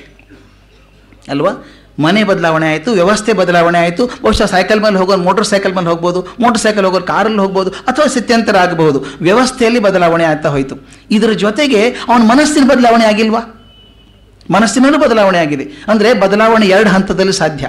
ಗೌರವಿಸುವುದು ವ್ಯವಸಾಯ ಆಗುವಂಥದ್ದು ಎರಡು ಹಂತದಲ್ಲಿ ಆಗ್ತದೆ ಅಂತ ಹೇಳ್ತಾರೆ. ಈ ಕಲ್ಟಸ್ ಪದಕ್ಕೂ ಹಾಗೆ ಆಯಿತು ಅಂತ ಡಿ ವಿ ಜಿ ಗುರುತಿಸ್ತಾರೆ. ಎರಡು ಹಂತದಲ್ಲಿ ಆದದ್ದು ಯಾವುದು? ಒಂದು ಮನಸ್ಸಿನಲ್ಲಿ ಚಿಂತನೆ ವ್ಯತ್ಯಾಸ ವ್ಯವಸಾಯ ಆಗ್ತಾ ಹೋಯಿತು. ಇನ್ನೊಂದು ವ್ಯವಸ್ಥೆಯಲ್ಲಿ ವ್ಯವಸಾಯ ಆಯ್ತಾ ಹೋಯಿತು. ಆ ಚಿಂತನೆಯಲ್ಲಿ ವ್ಯವಸಾಯ ಆದರೆ ಏನಾಗುತ್ತೆ ಹೇಳಿ? ಚಿಂತನೆಯಲ್ಲಿ ವ್ಯವಸಾಯ ಆದಾಗ ಅದು ಯಾವ ದಾರಿಗೆ ತಿರುಗ್ತು ಅಂತ ಹೇಳ್ತಾರೆ. ಚಿಂತನೆಯಲ್ಲಿ ವ್ಯವಸಾಯ ಆದಾಗ ಅಂತರಂಗ ಶಕ್ತಿ ಹೆಚ್ಚಿಗೆ ಆಗ್ತಾ ಹೋಯಿತು. ಅದರಲ್ಲಿ ದೈವ ಭಕ್ತಿ ಬಂತು. ಕಲ್ಚರ್ ನೋಡಿ, ಅವ್ರ ಕಲ್ಚರಲ್ಲಿ ಹಾಗಿದೆ, ಇವ್ರ ಕಲ್ಚರಲ್ಲಿ ಹಾಗಿದೆ, ಅವ್ರ ಕಲ್ಚರಲ್ಲಿ ಹಾಗಿದೆ ಅಂತ ಯೂಸ್ ಮಾಡ್ತೀವಿ ಪದಗಳನ್ನು ನಾವು. ಅದು ದೈವ ಭಕ್ತಿ ರೂಪ ತಗೊಂತು. ಇನ್ನೊಂದು ಕಡೆ ವೃತ್ತ ದೀಕ್ಷೆ ದಾರಿ ತಗೊಂತು. ಇನ್ನೊಂದು ಕಡೆ ಮತ ಸಿದ್ಧಾಂತಗಳ ರೂಪ ತಗೊಂತು. ಚಿಂತನೆಯ ವ್ಯವಸಾಯ ಆದಾಗ ಈ ದಾರಿಗಳಲ್ಲಿ ನಮ್ಮ ಕಲ್ಟ್ ಅನ್ನುವಂಥ ಪದ ಕಲ್ಟಸ್ ಅನ್ನುವಂಥ ಪದ ವಿಸ್ತಾರ ಆಗ್ತಾ ಹೋಯಿತು. ಇನ್ನೊಂದು ಹಂತದಲ್ಲಿ ನಾನು ಹೇಳಿದ್ನಲ್ಲ, ವ್ಯವಸ್ಥೆಯ ದೃಷ್ಟಿಯಿಂದ ವ್ಯವಸಾಯ ಆಗಬೇಕಲ್ಲ? ಒಂದು ಚಿಂತನೆಯಲ್ಲಿ ಆದಾಗ ದೈವಭಕ್ತಿ ವೃತ್ತದೀಕ್ಷೆ ಮತ ಸಿದ್ಧಾಂತಗಳಲ್ಲಿ ಬೆಳವಣಿಗೆ ಆದರೆ ಹೋದರೆ ವ್ಯವಸ್ಥೆಯಲ್ಲಿ ವ್ಯವಸಾಯ ಆದಾಗ ಭೂಮಿ ಆರಾಧನೆ ಶುರುವಾಯಿತು. ವ್ಯವಸ್ಥೆ, ಆಗ ಅಗ್ರಿಕಲ್ಚರ್ ಫಸ್ಟ್ ಭೂಮಿ ಆರಾಧನೆ. ಕೃಷಿ ಬೇಕು, ಉಳುಮೆ ಬೇಕು, ಪೈರು ಬೆಳೆಸೋದು. ಈ ವ್ಯವಸ್ಥೆ, ಆಗ ಬೇರೆ ವ್ಯವಸ್ಥೆ ಇಂಡಸ್ಟ್ರಿಯಲ್ ವ್ಯವಸ್ಥೆ ಇರಲಿಲ್ಲ ಆವಾಗ ವ್ಯವಸ್ಥೆ ಇದ್ದದ್ದು ಆಹಾರ ಉತ್ಪಾದನೆ ಮಾಡುವಂಥದ್ದು ಕೃಷಿಯಿಂದ. ಒಂದು ಚಿಂತನೆಯಲ್ಲಿ ವ್ಯವಸಾಯ ಆಗ್ತಾ ಹೋದರೆ ಇನ್ನೊಂದು ವ್ಯವಸ್ಥೆಯಲ್ಲಿ ವ್ಯವಸಾಯ ಆಗ್ತಾ ಹೋಯಿತು. ಎರಡನೇದನ್ನು ಮೊದಲು ತಗೊಳ್ಳೋಣ ಈಸಿ ಆಗತ್ತೆ. ವ್ಯವಸ್ಥೆಯಲ್ಲಿ ಬದಲಾವಣೆ ಆಗ್ತಾ ಹೋದಾಗ ಮೊಟ್ಟ ಮೊದಲನೇ ವ್ಯವಸಾಯ ಯಾವುದು ನಮ್ಮದು ಕೃಷಿ. ಭೂ ವ್ಯವಸಾಯ. ಅದನ್ನು ಅಗ್ರಿಕಲ್ಚರ್ ಅಂತ ಕರೆದಿ ನೋಡಿ ಅಗ್ರಿಕಲ್ಚರ್ ಕಲ್ಚರ್ ಅನ್ನೋ ಪದ ಹೇಗೆ ಉಳ್ಕೊಂಡು ಬಂತು ಅಂತ. ಅಗ್ರಿಕಲ್ಚರ್ ಭೂ ವ್ಯವಸಾಯ. ಒಂದು ಮಾತು ಬರ್ತದೆ, ನಾನು ಹೋದ ಸಲ ಹೇಳಿದ್ದು ನೆನಪಿಲ್ಲ ನನಗೆ. ಸೀತೆ ಅನ್ನುವಂಥ ಪದ ತುಂಬ ಪ್ರೀತಿಯಾದಂಥ ಪದ ಅದು. ಸೀತೆ ಅಂತ ಹೆಸರು ಯಾಕೆ ಬಂತು ಅಂತ ಯಾರೋ ಒಬ್ಬರು ಪಂಡಿತರನ್ನು ಕೇಳಿದಾಗ ತುಂಬ ಚೆನ್ನಾಗಿ ಉತ್ತರ ಕೊಟ್ಟರು ನನಗೆ ನನಗೆ ಗೊತ್ತಿರಲಿಲ್ಲ ಅದು. ಸೀತೆ ಅನ್ನುವಂಥ ಪದ ಹೇಗೆ ಬಂತು ಅಂದರೆ, ಸೀತೆಗೆ ಅರ್ಥ, ಸಂಸ್ಕೃತದಲ್ಲಿ ಅರ್ಥ ಏನು ಗೊತ್ತೇ? ನಮ್ಮ ನೇಗಲಿನ ತುದಿಗೆ ಹಾಕ್ತಾರಲ್ಲ, ಕಬ್ಬಿಣದ ಅಣಸಿದೆಯಲ್ಲ, ಚೂಪಾದ ಮೊನೆ ಇದೆಯಲ್ಲ, ಅದಕ್ಕೆ ಸೀತೆ ಅಂತ ಸಂಸ್ಕೃತದಲ್ಲಿ ಅರ್ಥ ಅಂತೆ. ನೇಗಿಲ ತುದಿಗೆ ಕಬ್ಬಿಣದ ಅಣಸು ಹಾಕ್ತೀವಲ್ಲ ಮೂರು ಮೂಲೆದು, ಅದು ನೆಲ ಕಿತ್ಕೊಂಡು ಹೋಗೋ ಹಾಗೆ, ಅದು ಅಣಸಿಗೆ ಸೀತೆ ಅಂತ ಸಂಸ್ಕೃತದಲ್ಲಿ ಅರ್ಥ. ನೋಡಿ, ಅತ್ಯಂತ ಪುರಾತನವಾದಂತಹ ನಮ್ಮ ಸಂಸ್ಕೃತಿ ಕಲ್ಚರ್ ಅನ್ನೋದಾದರೆ ಅಗ್ರಿಕಲ್ಚರ್ ಮೊದಲನೇ ಅಗ್ರಿಕಲ್ಚರ್ ಅಗ್ರಿಕಲ್ಚರಲ್ಲಿ ಮೊಟ್ಟ ಮೊದಲನೇ ಕೆಲಸ ಮಾಡೋದೇನು ಹೇಳಿ? ಭೂಮಿ ಉಳೋದು. ಅಂದರೆ, ಈ ಅಗ್ರಿಕಲ್ಚರಲ್ಲಿ ಮೊಟ್ಟ ಮೊದಲನೇ ಭೂಮಿಯನ್ನು ಮುಟ್ಟುವಂಥ ವಸ್ತು ಯಾವುದು? ಅದು ಸೀತೆ, ನೇಗಿಲಿನ ತುದಿ. ಅದಕ್ಕೆ ಹೇಳ್ತಾರೆ, ಸೀತೆ ನಮ್ಮ ಸಂಸ್ಕೃತಿಯ ಸೋ, ಸ್ತೋತ್ರ ಬಿಂದು. ಸಂಸ್ಕೃತಿಯ ಪ್ರತ್ ಪ್ರಾಥಮಿಕ ಬಿಂದು ನಮ್ಮ ಸಂಸ್ಕೃತಿಯ ಉಗಮ ಕೇಂದ್ರ ಅದು. ಅದಕ್ಕೆ ಸಂಸ್ಕೃತಿ ಸೀತೆಗೆ ಯಾಕಷ್ಟು ಮುಖ್ಯ ಅಂತಂದರೆ ಸೀತೆ ಪದಕ್ಕೆ ನಮ್ಮ ಸಂಸ್ಕೃತಿಯ ಉಗಮ ಅಲ್ಲಿಂದ ಆಯಿತು ಅಂತ. ಅದಕ್ಕೆ ನೇಗಿಲಿನ ತುದಿಗಿರುವಂಥ ಕಬ್ಬಿಣದ ಅಣಸಿದೆಯಲ್ಲ ಅದು ಸೀತೆ ಅಂತ. ಅಗ್ರಿಕಲ್ಚರ್ ಮೊಟ್ಟ ಮೊದಲನೇ ಕಲ್ಚರ್ ಅದು. ಒಂದು ಸಲ ಅಗ್ರಿಕಲ್ಚರ್ ಅಂತ ಆಯಿತೋ, ಅದ್ರ ಹಿಂದೆ ಸಾಕಷ್ಟು ಕಲ್ಚರ್ಗಳು ಬರೋಕ್ಕೆ ಶುರು ಆಯಿತು. ಅಗ್ರಿಕಲ್ಚರ್ ಹೋದ್ಮೇಲೆ ಸೆರಿಕಲ್ಚರ್ ಹಿಂದೆ ಉಳ್ಕೊಂತ ರೇಷ್ಮೆ ಹುಳು ಸಾಕಾಣಿಕೆ ಇದೆಯಲ್ಲ, ರೇಷ್ಮೆ ಹುಳು ವ್ಯವಸಾಯ ಇದೆಯಲ್ಲ, ಅದು ಸೆರಿಕಲ್ಚರ್ ಆಯಿತು. ಆರ್ಬರಿಕಲ್ಚರ್ ಬಂತು. ಗಿಡ ಮರ ಬೆಳೆಸುವಂಥದ್ದು, ಕಾಡಲ್ಲಿ ಗಿಡ ಮರ ಬೆಳೆಸುವಂಥದ್ದು ಆರ್ಬರಿಕಲ್ಚರ್ ಬಂತು. ಮೀನು ಬೆಳೆಸೋದಿದೆಯಲ್ಲ ಪಿಸಿಕಲ್ಚರ್ ಶುರು ಆಯಿತು. ಮೀನು ಬೆಳೆಸಬೇಕು ಅಂತ. ಹಾರ್ಟಿಕಲ್ಚರ್ ತೋಟ ಬೆಳೆಸೋದು. ಇದೆಲ್ಲ ಒಂದು ಹಂತ. ವ್ಯವಸ್ಥೆಗಳಲ್ಲಿ ಹೇಗೆ ಬದಲಾವಣೆ ಆಗ್ತಾ ಬಂತು ಕಲ್ಚರ್ ಪದ ಬಿಡಲಿಲ್ಲ ಅದು. ವ್ಯವಸಾಯ ಬೇರೆ ಬೇರೆ ದಿಕ್ಕಿಗೆ ಹೋದಾಗ ಮೀನು ಬೆಳೆಸೋದಾಗಲಿ, ಗಿಡ ಮರ ಬೆಳೆಸೋದಾಗಲಿ, ಅಥವಾ ಜೇಷ್ಮೆ ಹುಳು ಬೆಳೆಸೋದಾಗಲಿ ಒಂಥರ ಕಲ್ಚರ್ಗಳು ಅಂತೂ ಬಂತು. ಇನ್ನು ಮುಂದಕ್ಕೆ ಹೋದರೆ, ಇನ್ನು ವಿಜ್ಞಾನ ಮುಂದೆ ಹೋದಾಗ ಯಾವುದೇ ಒಂದು ಗಾಯ ಆಗಿದೆ ಅಂತ ಇಟ್ಕೊಳ್ಳೋಣ, ಅದು ವೃಣ ಆಯಿತು ಅಂತ ಇಟ್ಕೊಳ್ಳೋಣ. ಆ ವೃಣದ ಏನು ಮಾಡ್ತಾರೆ ಅಂದರೆ ಕಲ್ಚರ್ ಟೆಸ್ಟ್ ಮಾಡಿಸಿ ಅಂತಾರೆ. ನೋಡಿ, ಆ ವೃಣದ ಕೀವಿಂದಿದೆಯಲ್ಲ, ಕೀವನ್ನು ತಗೊಂಡು ಹೋಗಿ ಆ ಸೂಕ್ಷ್ಮವಾದಂಥ ವಿಷಾಣುಗಳು ಎಷ್ಟು ಮಟ್ಟಿಗಿದೆ ಪರೀಕ್ಷೆ ಮಾಡೋದಕ್ಕೆ ಒಂದು ಪರೀಕ್ಷೆ ಮಾಡ್ತಾರಲ್ಲ, ಅದಕ್ಕೊಂದು ಬ್ಯಾಕ್ಟೀರಿಯಾಲಜಿಕಲ್ ಕಲ್ಚರ್ ಅಂತ ಶುರುವಾಯಿತು ಬ್ಯಾಕ್ಟೀರಿಯಲ್ ಕಲ್ಚರ್ ಅಂತ. ಗಮನಿಸಿರಬೇಕು, ಸುಮಾರು ದಿವಸ ಜ್ವರ ಬಂದುಬಿಟ್ರೆ, ಕಮ್ಮಿ ಆಗದೆ ಹೋದರೆ ಆ್ಯಂಟಿಬಯೋಟಿಕ್ ಕೊಡಬೇಕು ಅಂತಾರೆ. ಆ್ಯಂಟಿಬಯೋಟಿಕ್ ಕೊಡಬೇಕಾದ್ರೆ ಯಾವ ಮಟ್ಟದ ಕೊಡಬೇಕು, ಯಾವುದು ಕೊಡಬೇಕು? ಸಣ್ಣ ಆ್ಯಂಟಿಬಯೋಟಿಕ್ಕಿಂದ ಸ್ಟ್ರಾಂಗ್ ಆ್ಯಂಟಿಬಯೋಟಿಕ್ ಡೋಸ್ವರೆಗೂ ಇದೆ ನಮ್ಮಲ್ಲಿ. ಯಾವುದನ್ನು ಕೊಡಬೇಕು ಅಂದರೆ ಮೊದಲೊಂದು ಯೂರಿನ್ ಕಲ್ಚರ್ ಟೆಸ್ಟ್ ಮಾಡಿಸಿ ಅಂತಾರೆ. ನೋಡಿ urine culture and sensitivity test ಮಾಡಿದಾಗ ಯಾವ ಮಟ್ಟಕ್ಕೆ ಅವರಿಗೆ ಇದು ರೋಗ ಹರಡ್ಕೊಂಡಿದೆ, ಅದಕ್ಕೆ ಸರಿಯಾದಂಥ ಅದು ಸಂವಾದಿಯಾದಂಥ ಆ್ಯಂಟಿಬಯೋಟಿಕ್ ಯಾವುದು ಅಂತ ಗುರುತಿಸಿಕೊಡ್ತಾರೆ. So we have come from agriculture to urine culture ಎಲ್ಲ ಕಲ್ಚರ್ ಜ್ಞಾನ, ವಿಸ್ತಾರ ಆದ ಹಾಗೆ ಕಲ್ಚರ್ದ ಅರ್ಥ ವ್ಯತ್ಯಾಸ ಆಗ್ತಾ ಹೋಯ್ತು. ಇದು ವ್ಯವಸ್ಥೆಯಲ್ಲಿ ಆದಂಥ ವ್ಯವಸಾಯ. ಇನ್ನೊಂದು ವಿಷಯ ಬರೋಣ. ಮುತ್ತು ಮಾಡ್ತಾರೆ. ನೈಸರ್ಗಿಕ ಸಿಗುವಂಥ ಮುತ್ತುಗಳು ಬೇರೆ ಸಮುದ್ರದಲ್ಲಿ. ಈಗ ಕೃತಕ ಮುತ್ತುಗಳು ಮಾಡ್ತೀವಲ್ಲ, ಕೃತಕ ಡೈಮಂಡ್ಗಳನ್ನು ಕೂಡ ಮಾಡ್ತೇವೆ ನಾವೀಗ. ಡೈಮಂಡ್ ವಜ್ರಗಳನ್ನು ಕೃತಕ ಡೈಮಂಡ್ ಅಮೇರಿಕನ್ ಡೈಮಂಡ್ಸ್ ಅಂತಾರೆ. ಯಾಕೋ ಗೊತ್ತಿಲ್ಲ ಪಾಪ ಅದಕ್ಕೆ. ಅಮೇರಿಕನ್ ಡೈಮಂಡ್ ಅಂದರೆ ಆರ್ಟಿಫಿಷಿಯಲ್ ಡೈಮಂಡ್ ಅಂತ. ಅದು ಇಕ್ವೇಷನ್ ಹಾಕಿದರೆ ಅಮೇರಿಕಾ ಇಸ್ ಟು ಆರ್ಟಿಫಿಷಿಯಲ್ ಅಂತ ಆಗ್ಬಿಡುತ್ತೆ ಅದು. ಅದು ಡೈಮಂಡ್ಸ್ ಮಾಡ್ತಾರಲ್ಲ, ಅದನ್ನು ಪಾಲಿಷ್ ಮಾಡಿ ನಿಜವಾಗ್ಲೂ ವಜ್ರದಂಗೆ ಕಾಣಿಸೋದು ಹೇಗೆ ಅಂತ. ಅದಕ್ಕೆ ಕಾಲ್ ಡೈಮಂಡ್ ಕಲ್ಚರ್ ಅಂತಾರೆ ಅದಕ್ಕೆ. ಈ ಮುತ್ತುಗಳಿಗೆ ವಿಶೇಷವಾದಂಥ ಮಯಣದ ಹೊಳಪು ಬರಬೇಕು ಅಂದರೆ, ಮಿಂಚು ಬರಬೇಕು ಅಂದರೆ it is called as pearl culture ನೀವು ಅಂಗಡಿಗೆ ಹೋಗಿ ಕೇಳಿ, ಹೈದರಾಬಾದಿಗೆ ಹೋಗಿ ಕೇಳಿದರೆ ಕಲ್ಚರ್ಡ್ ಪರ್ಲ್ಸ್ ಇವು ಅಂತಾರೆ ಅವರು. ಕಲ್ಚರ್ಡ್ ಪರ್ಲ್ಸ್ ಪರ್ಲ್ಸಿಗೆ ಕೂಡ ಕಲ್ಚರ್ ಬೇಕಾಯಿತು. ಕಲ್ಚರ್ಡ್ ಪರ್ಲ್ಸ್ ಅಂದರೆ, ಆ, ತಾವು ಕೃತಕವಾಗಿ ಮಾಡಿದಂಥ ಮುತ್ತಿದೆಯಲ್ಲ, ಅದಕ್ಕೊಂದು ವಿಶೇಷವಾದಂಥ ಹೊಳಪು ಬರಬೇಕು ಅಂದರೆ. ನೋಡಿ, ಎಷ್ಟು ಚೆನ್ನಾಗಿದೆ ಅರ್ಥ ಅದು. ಜೀವನಕ್ಕೆ ಹೇಗೆ ಅನ್ವಯಿಸುತ್ತೆ ಮುಂದೆ ಅದು. ಆ ಮುತ್ತಿಗೆ ಹೊಳಪು ಬರಬೇಕಾದ್ರೆ ಆ ಕಾಜಿನ ಚೂರು ಇದೆಯಲ್ಲ, ಅದು ಮಿಂಚಿನಂಗೆ ಅಥವಾ ಒಂದು ವಜ್ರದ ಹಾಗೆ ಹೊಳಿಬೇಕು ಅಂತಂದರೆ ಹೊಳಪು, ವಿಶೇಷವಾದ ಹೊಳಪು ಬರಬೇಕಾದ್ರೆ ಅದು ಕಲ್ಚರ್ ಮಾಡಬೇಕು ಅಂತ. ಅಂದರೆ ನಿನ್ನೆ ದಿನ ಸಂಸ್ಕೃತಿ ಅಂದರೇನು ಆ ಪದದ ಬಗ್ಗೆ ಸ್ವಲ್ಪ ಚಿಂತೆ ಮಾಡಿ, ಅರ್ಥದ ಬಗ್ಗೆ ಸ್ವಲ್ಪ ಗಮನ ಹರಿಸಿದ್ವಿ. ಎಷ್ಟೊಂದು ಅರ್ಥವನ್ನು ಡಿ ವಿ ಜಿ ಕೊಡೋಕ್ಕೆ ಪ್ರಯತ್ನ ಮಾಡಿದರು ನಮಗೆ ಅಂತ. ಸಂಸ್ಕೃತಿ ಅಂದರೇನು ಅಂತ ಶುರು ಮಾಡಿ ಆ ಸಂಸ್ಕೃತಿ ಮ್ಯಾಥ್ಯೂ ಅರ್ನಾಲ್ಡ್ ಏನು ಹೇಳಿದ ಅಂತ ವಿಚಾರ ಮಾಡಿ. ಅದ ನಂತರ ಸಂಸ್ಕೃತಿ ಅರ್ಥ ಎಷ್ಟು ವ್ಯಾಪಕವಾದದ್ದು. ನಂತರ ಸಂಸ್ಕೃತದ ಪದ ಪರ್ಯಾಯವಾದಂಥ ಇಂಗ್ಲೀಷ್ ಪದ ಕಲ್ಚರ್ ಅದರ ಮೂಲ ಪದ ಕಲ್ಟ್ ಅಥವಾ ಕಲ್ಟಸ್ ಅಂತ ಹೇಗೆ ಬಂತು. ಅದು ವರ್ಷ ಕಳೆದಂಗೆ ಅದಕ್ಕೆ ಎರಡು ಅರ್ಥ ಹೇಗೆ ಬರ್ತಾ ಹೋಯಿತು. ಎರಡು ಹಂತದಲ್ಲಿ ವಿಸ್ತಾರ ಆಗ್ತಾ ಹೋಯಿತು. ಒಂದು ಚಿಂತನೆಯ ಹಂತದಲ್ಲಿ, ಇನ್ನೊಂದು ವ್ಯವಸ್ಥೆ ಹಂತದಲ್ಲಿ ಅಂತ. ವ್ಯವಸ್ಥೆ ಹಂತದಲ್ಲಿ ಬೆಳೆದದ್ದು ನಮ್ಮ ಅಗ್ರಿಕಲ್ಚರ್ ಸೆರಿಕಲ್ಚರ್ ಫಿಸಿಕಲ್ಚರ್ ಆರ್ಬೋರಿಕಲ್ಚರ್ ಇದೆಲ್ಲ ಹೇಳ್ತಾ ಹೇಗೆ ಬೆಳ್ಕೊಂಡು ವ್ಯವಸ್ಥೆ ಅಂತ ಒಂದು ಕಡೆ ಆದರೆ ಇನ್ನೊಂದು ಚಿಂತನೆಯಲ್ಲಿ ಹೇಗೆ ವ್ಯವಸ್ಥೆಯಲ್ಲಿ ಬದಲಾವಣೆ ಆಗ್ತಾ ಹೋಯಿತು. ಆ ವ್ಯವಸಾಯ ಆದದ್ದು ಅಂತರಂಗ ಸಂಸ್ಕಾರದ ಕಡೆಗೆ ಹೇಗೆ ತಿರುಗ್ತು ಅಂತ ಹೇಳಿ ಯಾವುದೇ ಒಂದು ವಿಶೇಷವಿದ್ದರೆ ಮಾತ್ರ ಸಂಸ್ಕೃತಿ ಅಂತ ಹೇಳೋಕ್ಕಾಗೋದಿಲ್ಲ. ಒಬ್ಬ ಮಹಾನ್ ಕವಿ ಆಗಿರಬಹುದು ಒಳ್ಳೆಯ ಚಿತ್ರಕಾರ ಆಗಿರಬಹುದು ಒಳ್ಳೆಯ ಆಟಗಾರ ಆಗಿರಬಹುದು ಅಂದು ಮಾತ್ರ ಸುಸಂಸ್ಕೃತ ಅಂತ ಹೇಳೋಕ್ಕಾಗೋದಿಲ್ಲ.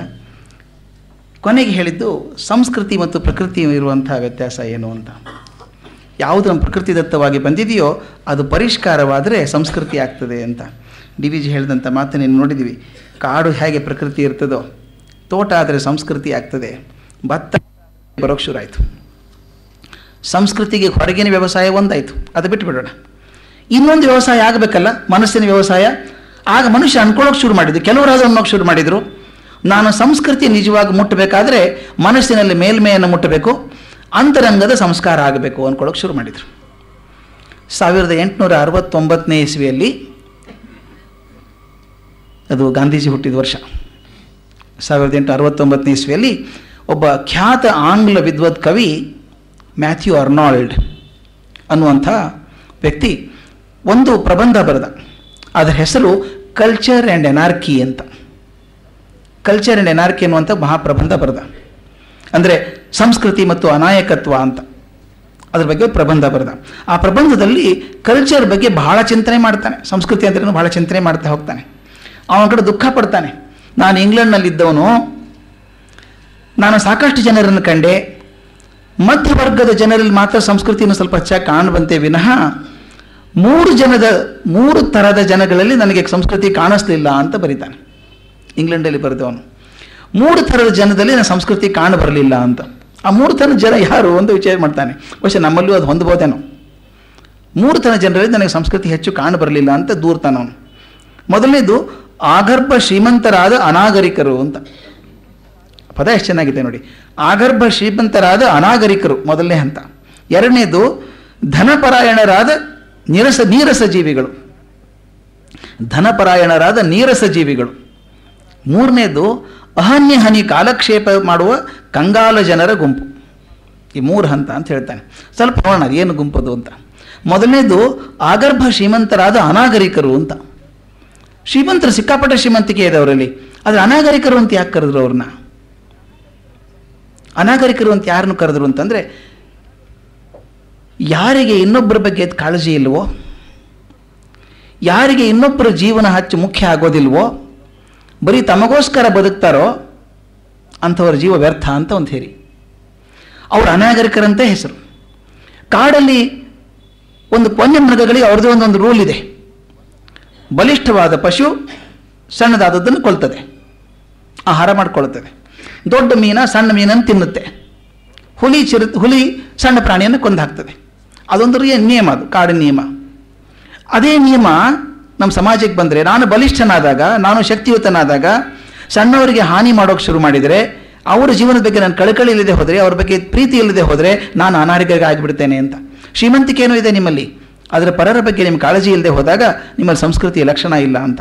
ಮ್ಯಾಥ್ಯೂ ಅರ್ನಾಲ್ಡ್ ಹೇಳೋದು. ಮೊದಲನೇ ಕ್ವಾಲಿಟಿ ಅದು. ಸಂಸ್ಕೃತಿ ಇಲ್ಲ ಅಂದರೆ ಏನು ಗೊತ್ತಾಗ್ತದೆ ಅಂತ ಹೇಳ್ಕೊಂಡು ಹೋಗ್ತಾನೆ. ಸಂಸ್ಕೃತಿ ಅಂದರೆ ಏನು ಅಂತ ಹೇಳೋಕೆ ಹೋಗೋದಿಲ್ಲ. ಯಾವಾಗ ಸಂಸ್ಕೃತಿ ಇಲ್ಲ ಅಂತ ಅರ್ಥ ಮಾಡ್ಕೊಳ್ಬೇಕು? ಇನ್ನೊಬ್ಬರ ಬಗ್ಗೆ ನನಗೆ ಕಾಳಜಿ ಇಲ್ಲವೋ, ಮತ್ತೊಬ್ಬರ ಜೀವನದ ಬಗ್ಗೆ ನನಗೆ ಬೆಲೆ ಇಲ್ಲವೋ, ಅರ್ಥ ಇಲ್ಲವೋ, ಆಗ ನನ್ನ ಜೀವನ ಅನಾಗರಿಕವಾಯಿತು ಅಂತ ಒಂದು ಥೇರಿ ಸಂಸ್ಕೃತಿ ಇಲ್ಲ ಇವನಿಗೆ ಅಂತ.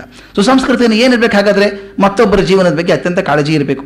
ನನ್ನಷ್ಟೇ ಕಾಳಜಿ ಅವ್ರ ಬಗ್ಗೆನೂ ಇರಬೇಕು ಅಂತ. ಇದಿರಲಿಲ್ಲ ಅವರಿಗೆ, ಶ್ರೀಮಂತರಿಗೆ. ಎರಡನೇದು, ಧನಪರಾಯಣರಾದಂಥ ನೀರಸ ಜೀವಿಗಳು ಅಂತ. ಎಷ್ಟು ಚೆನ್ನಾಗಿ ಪದ ಉಪಯೋಗಿಸಿದ್ದಾರೆ ಅವರು. ನೀರಸ ಜೀವಿಗಳು ಅವರು ಅವ್ರಿಗೆ ಏನೂ ಆಸಕ್ತಿ ಇಲ್ಲ ಜೀವನದಲ್ಲಿ. ಒಂದೇ ಒಂದು ಆಸಕ್ತಿ ಇರೋದು ಅವರಿಗೆ. ಧನಪರಾಯಣತೆ. ಹೇಗಾದರೂ ಮಾಡಿ ದುಡ್ಡು ಗಳಿಸ್ಬೇಕು. Somehow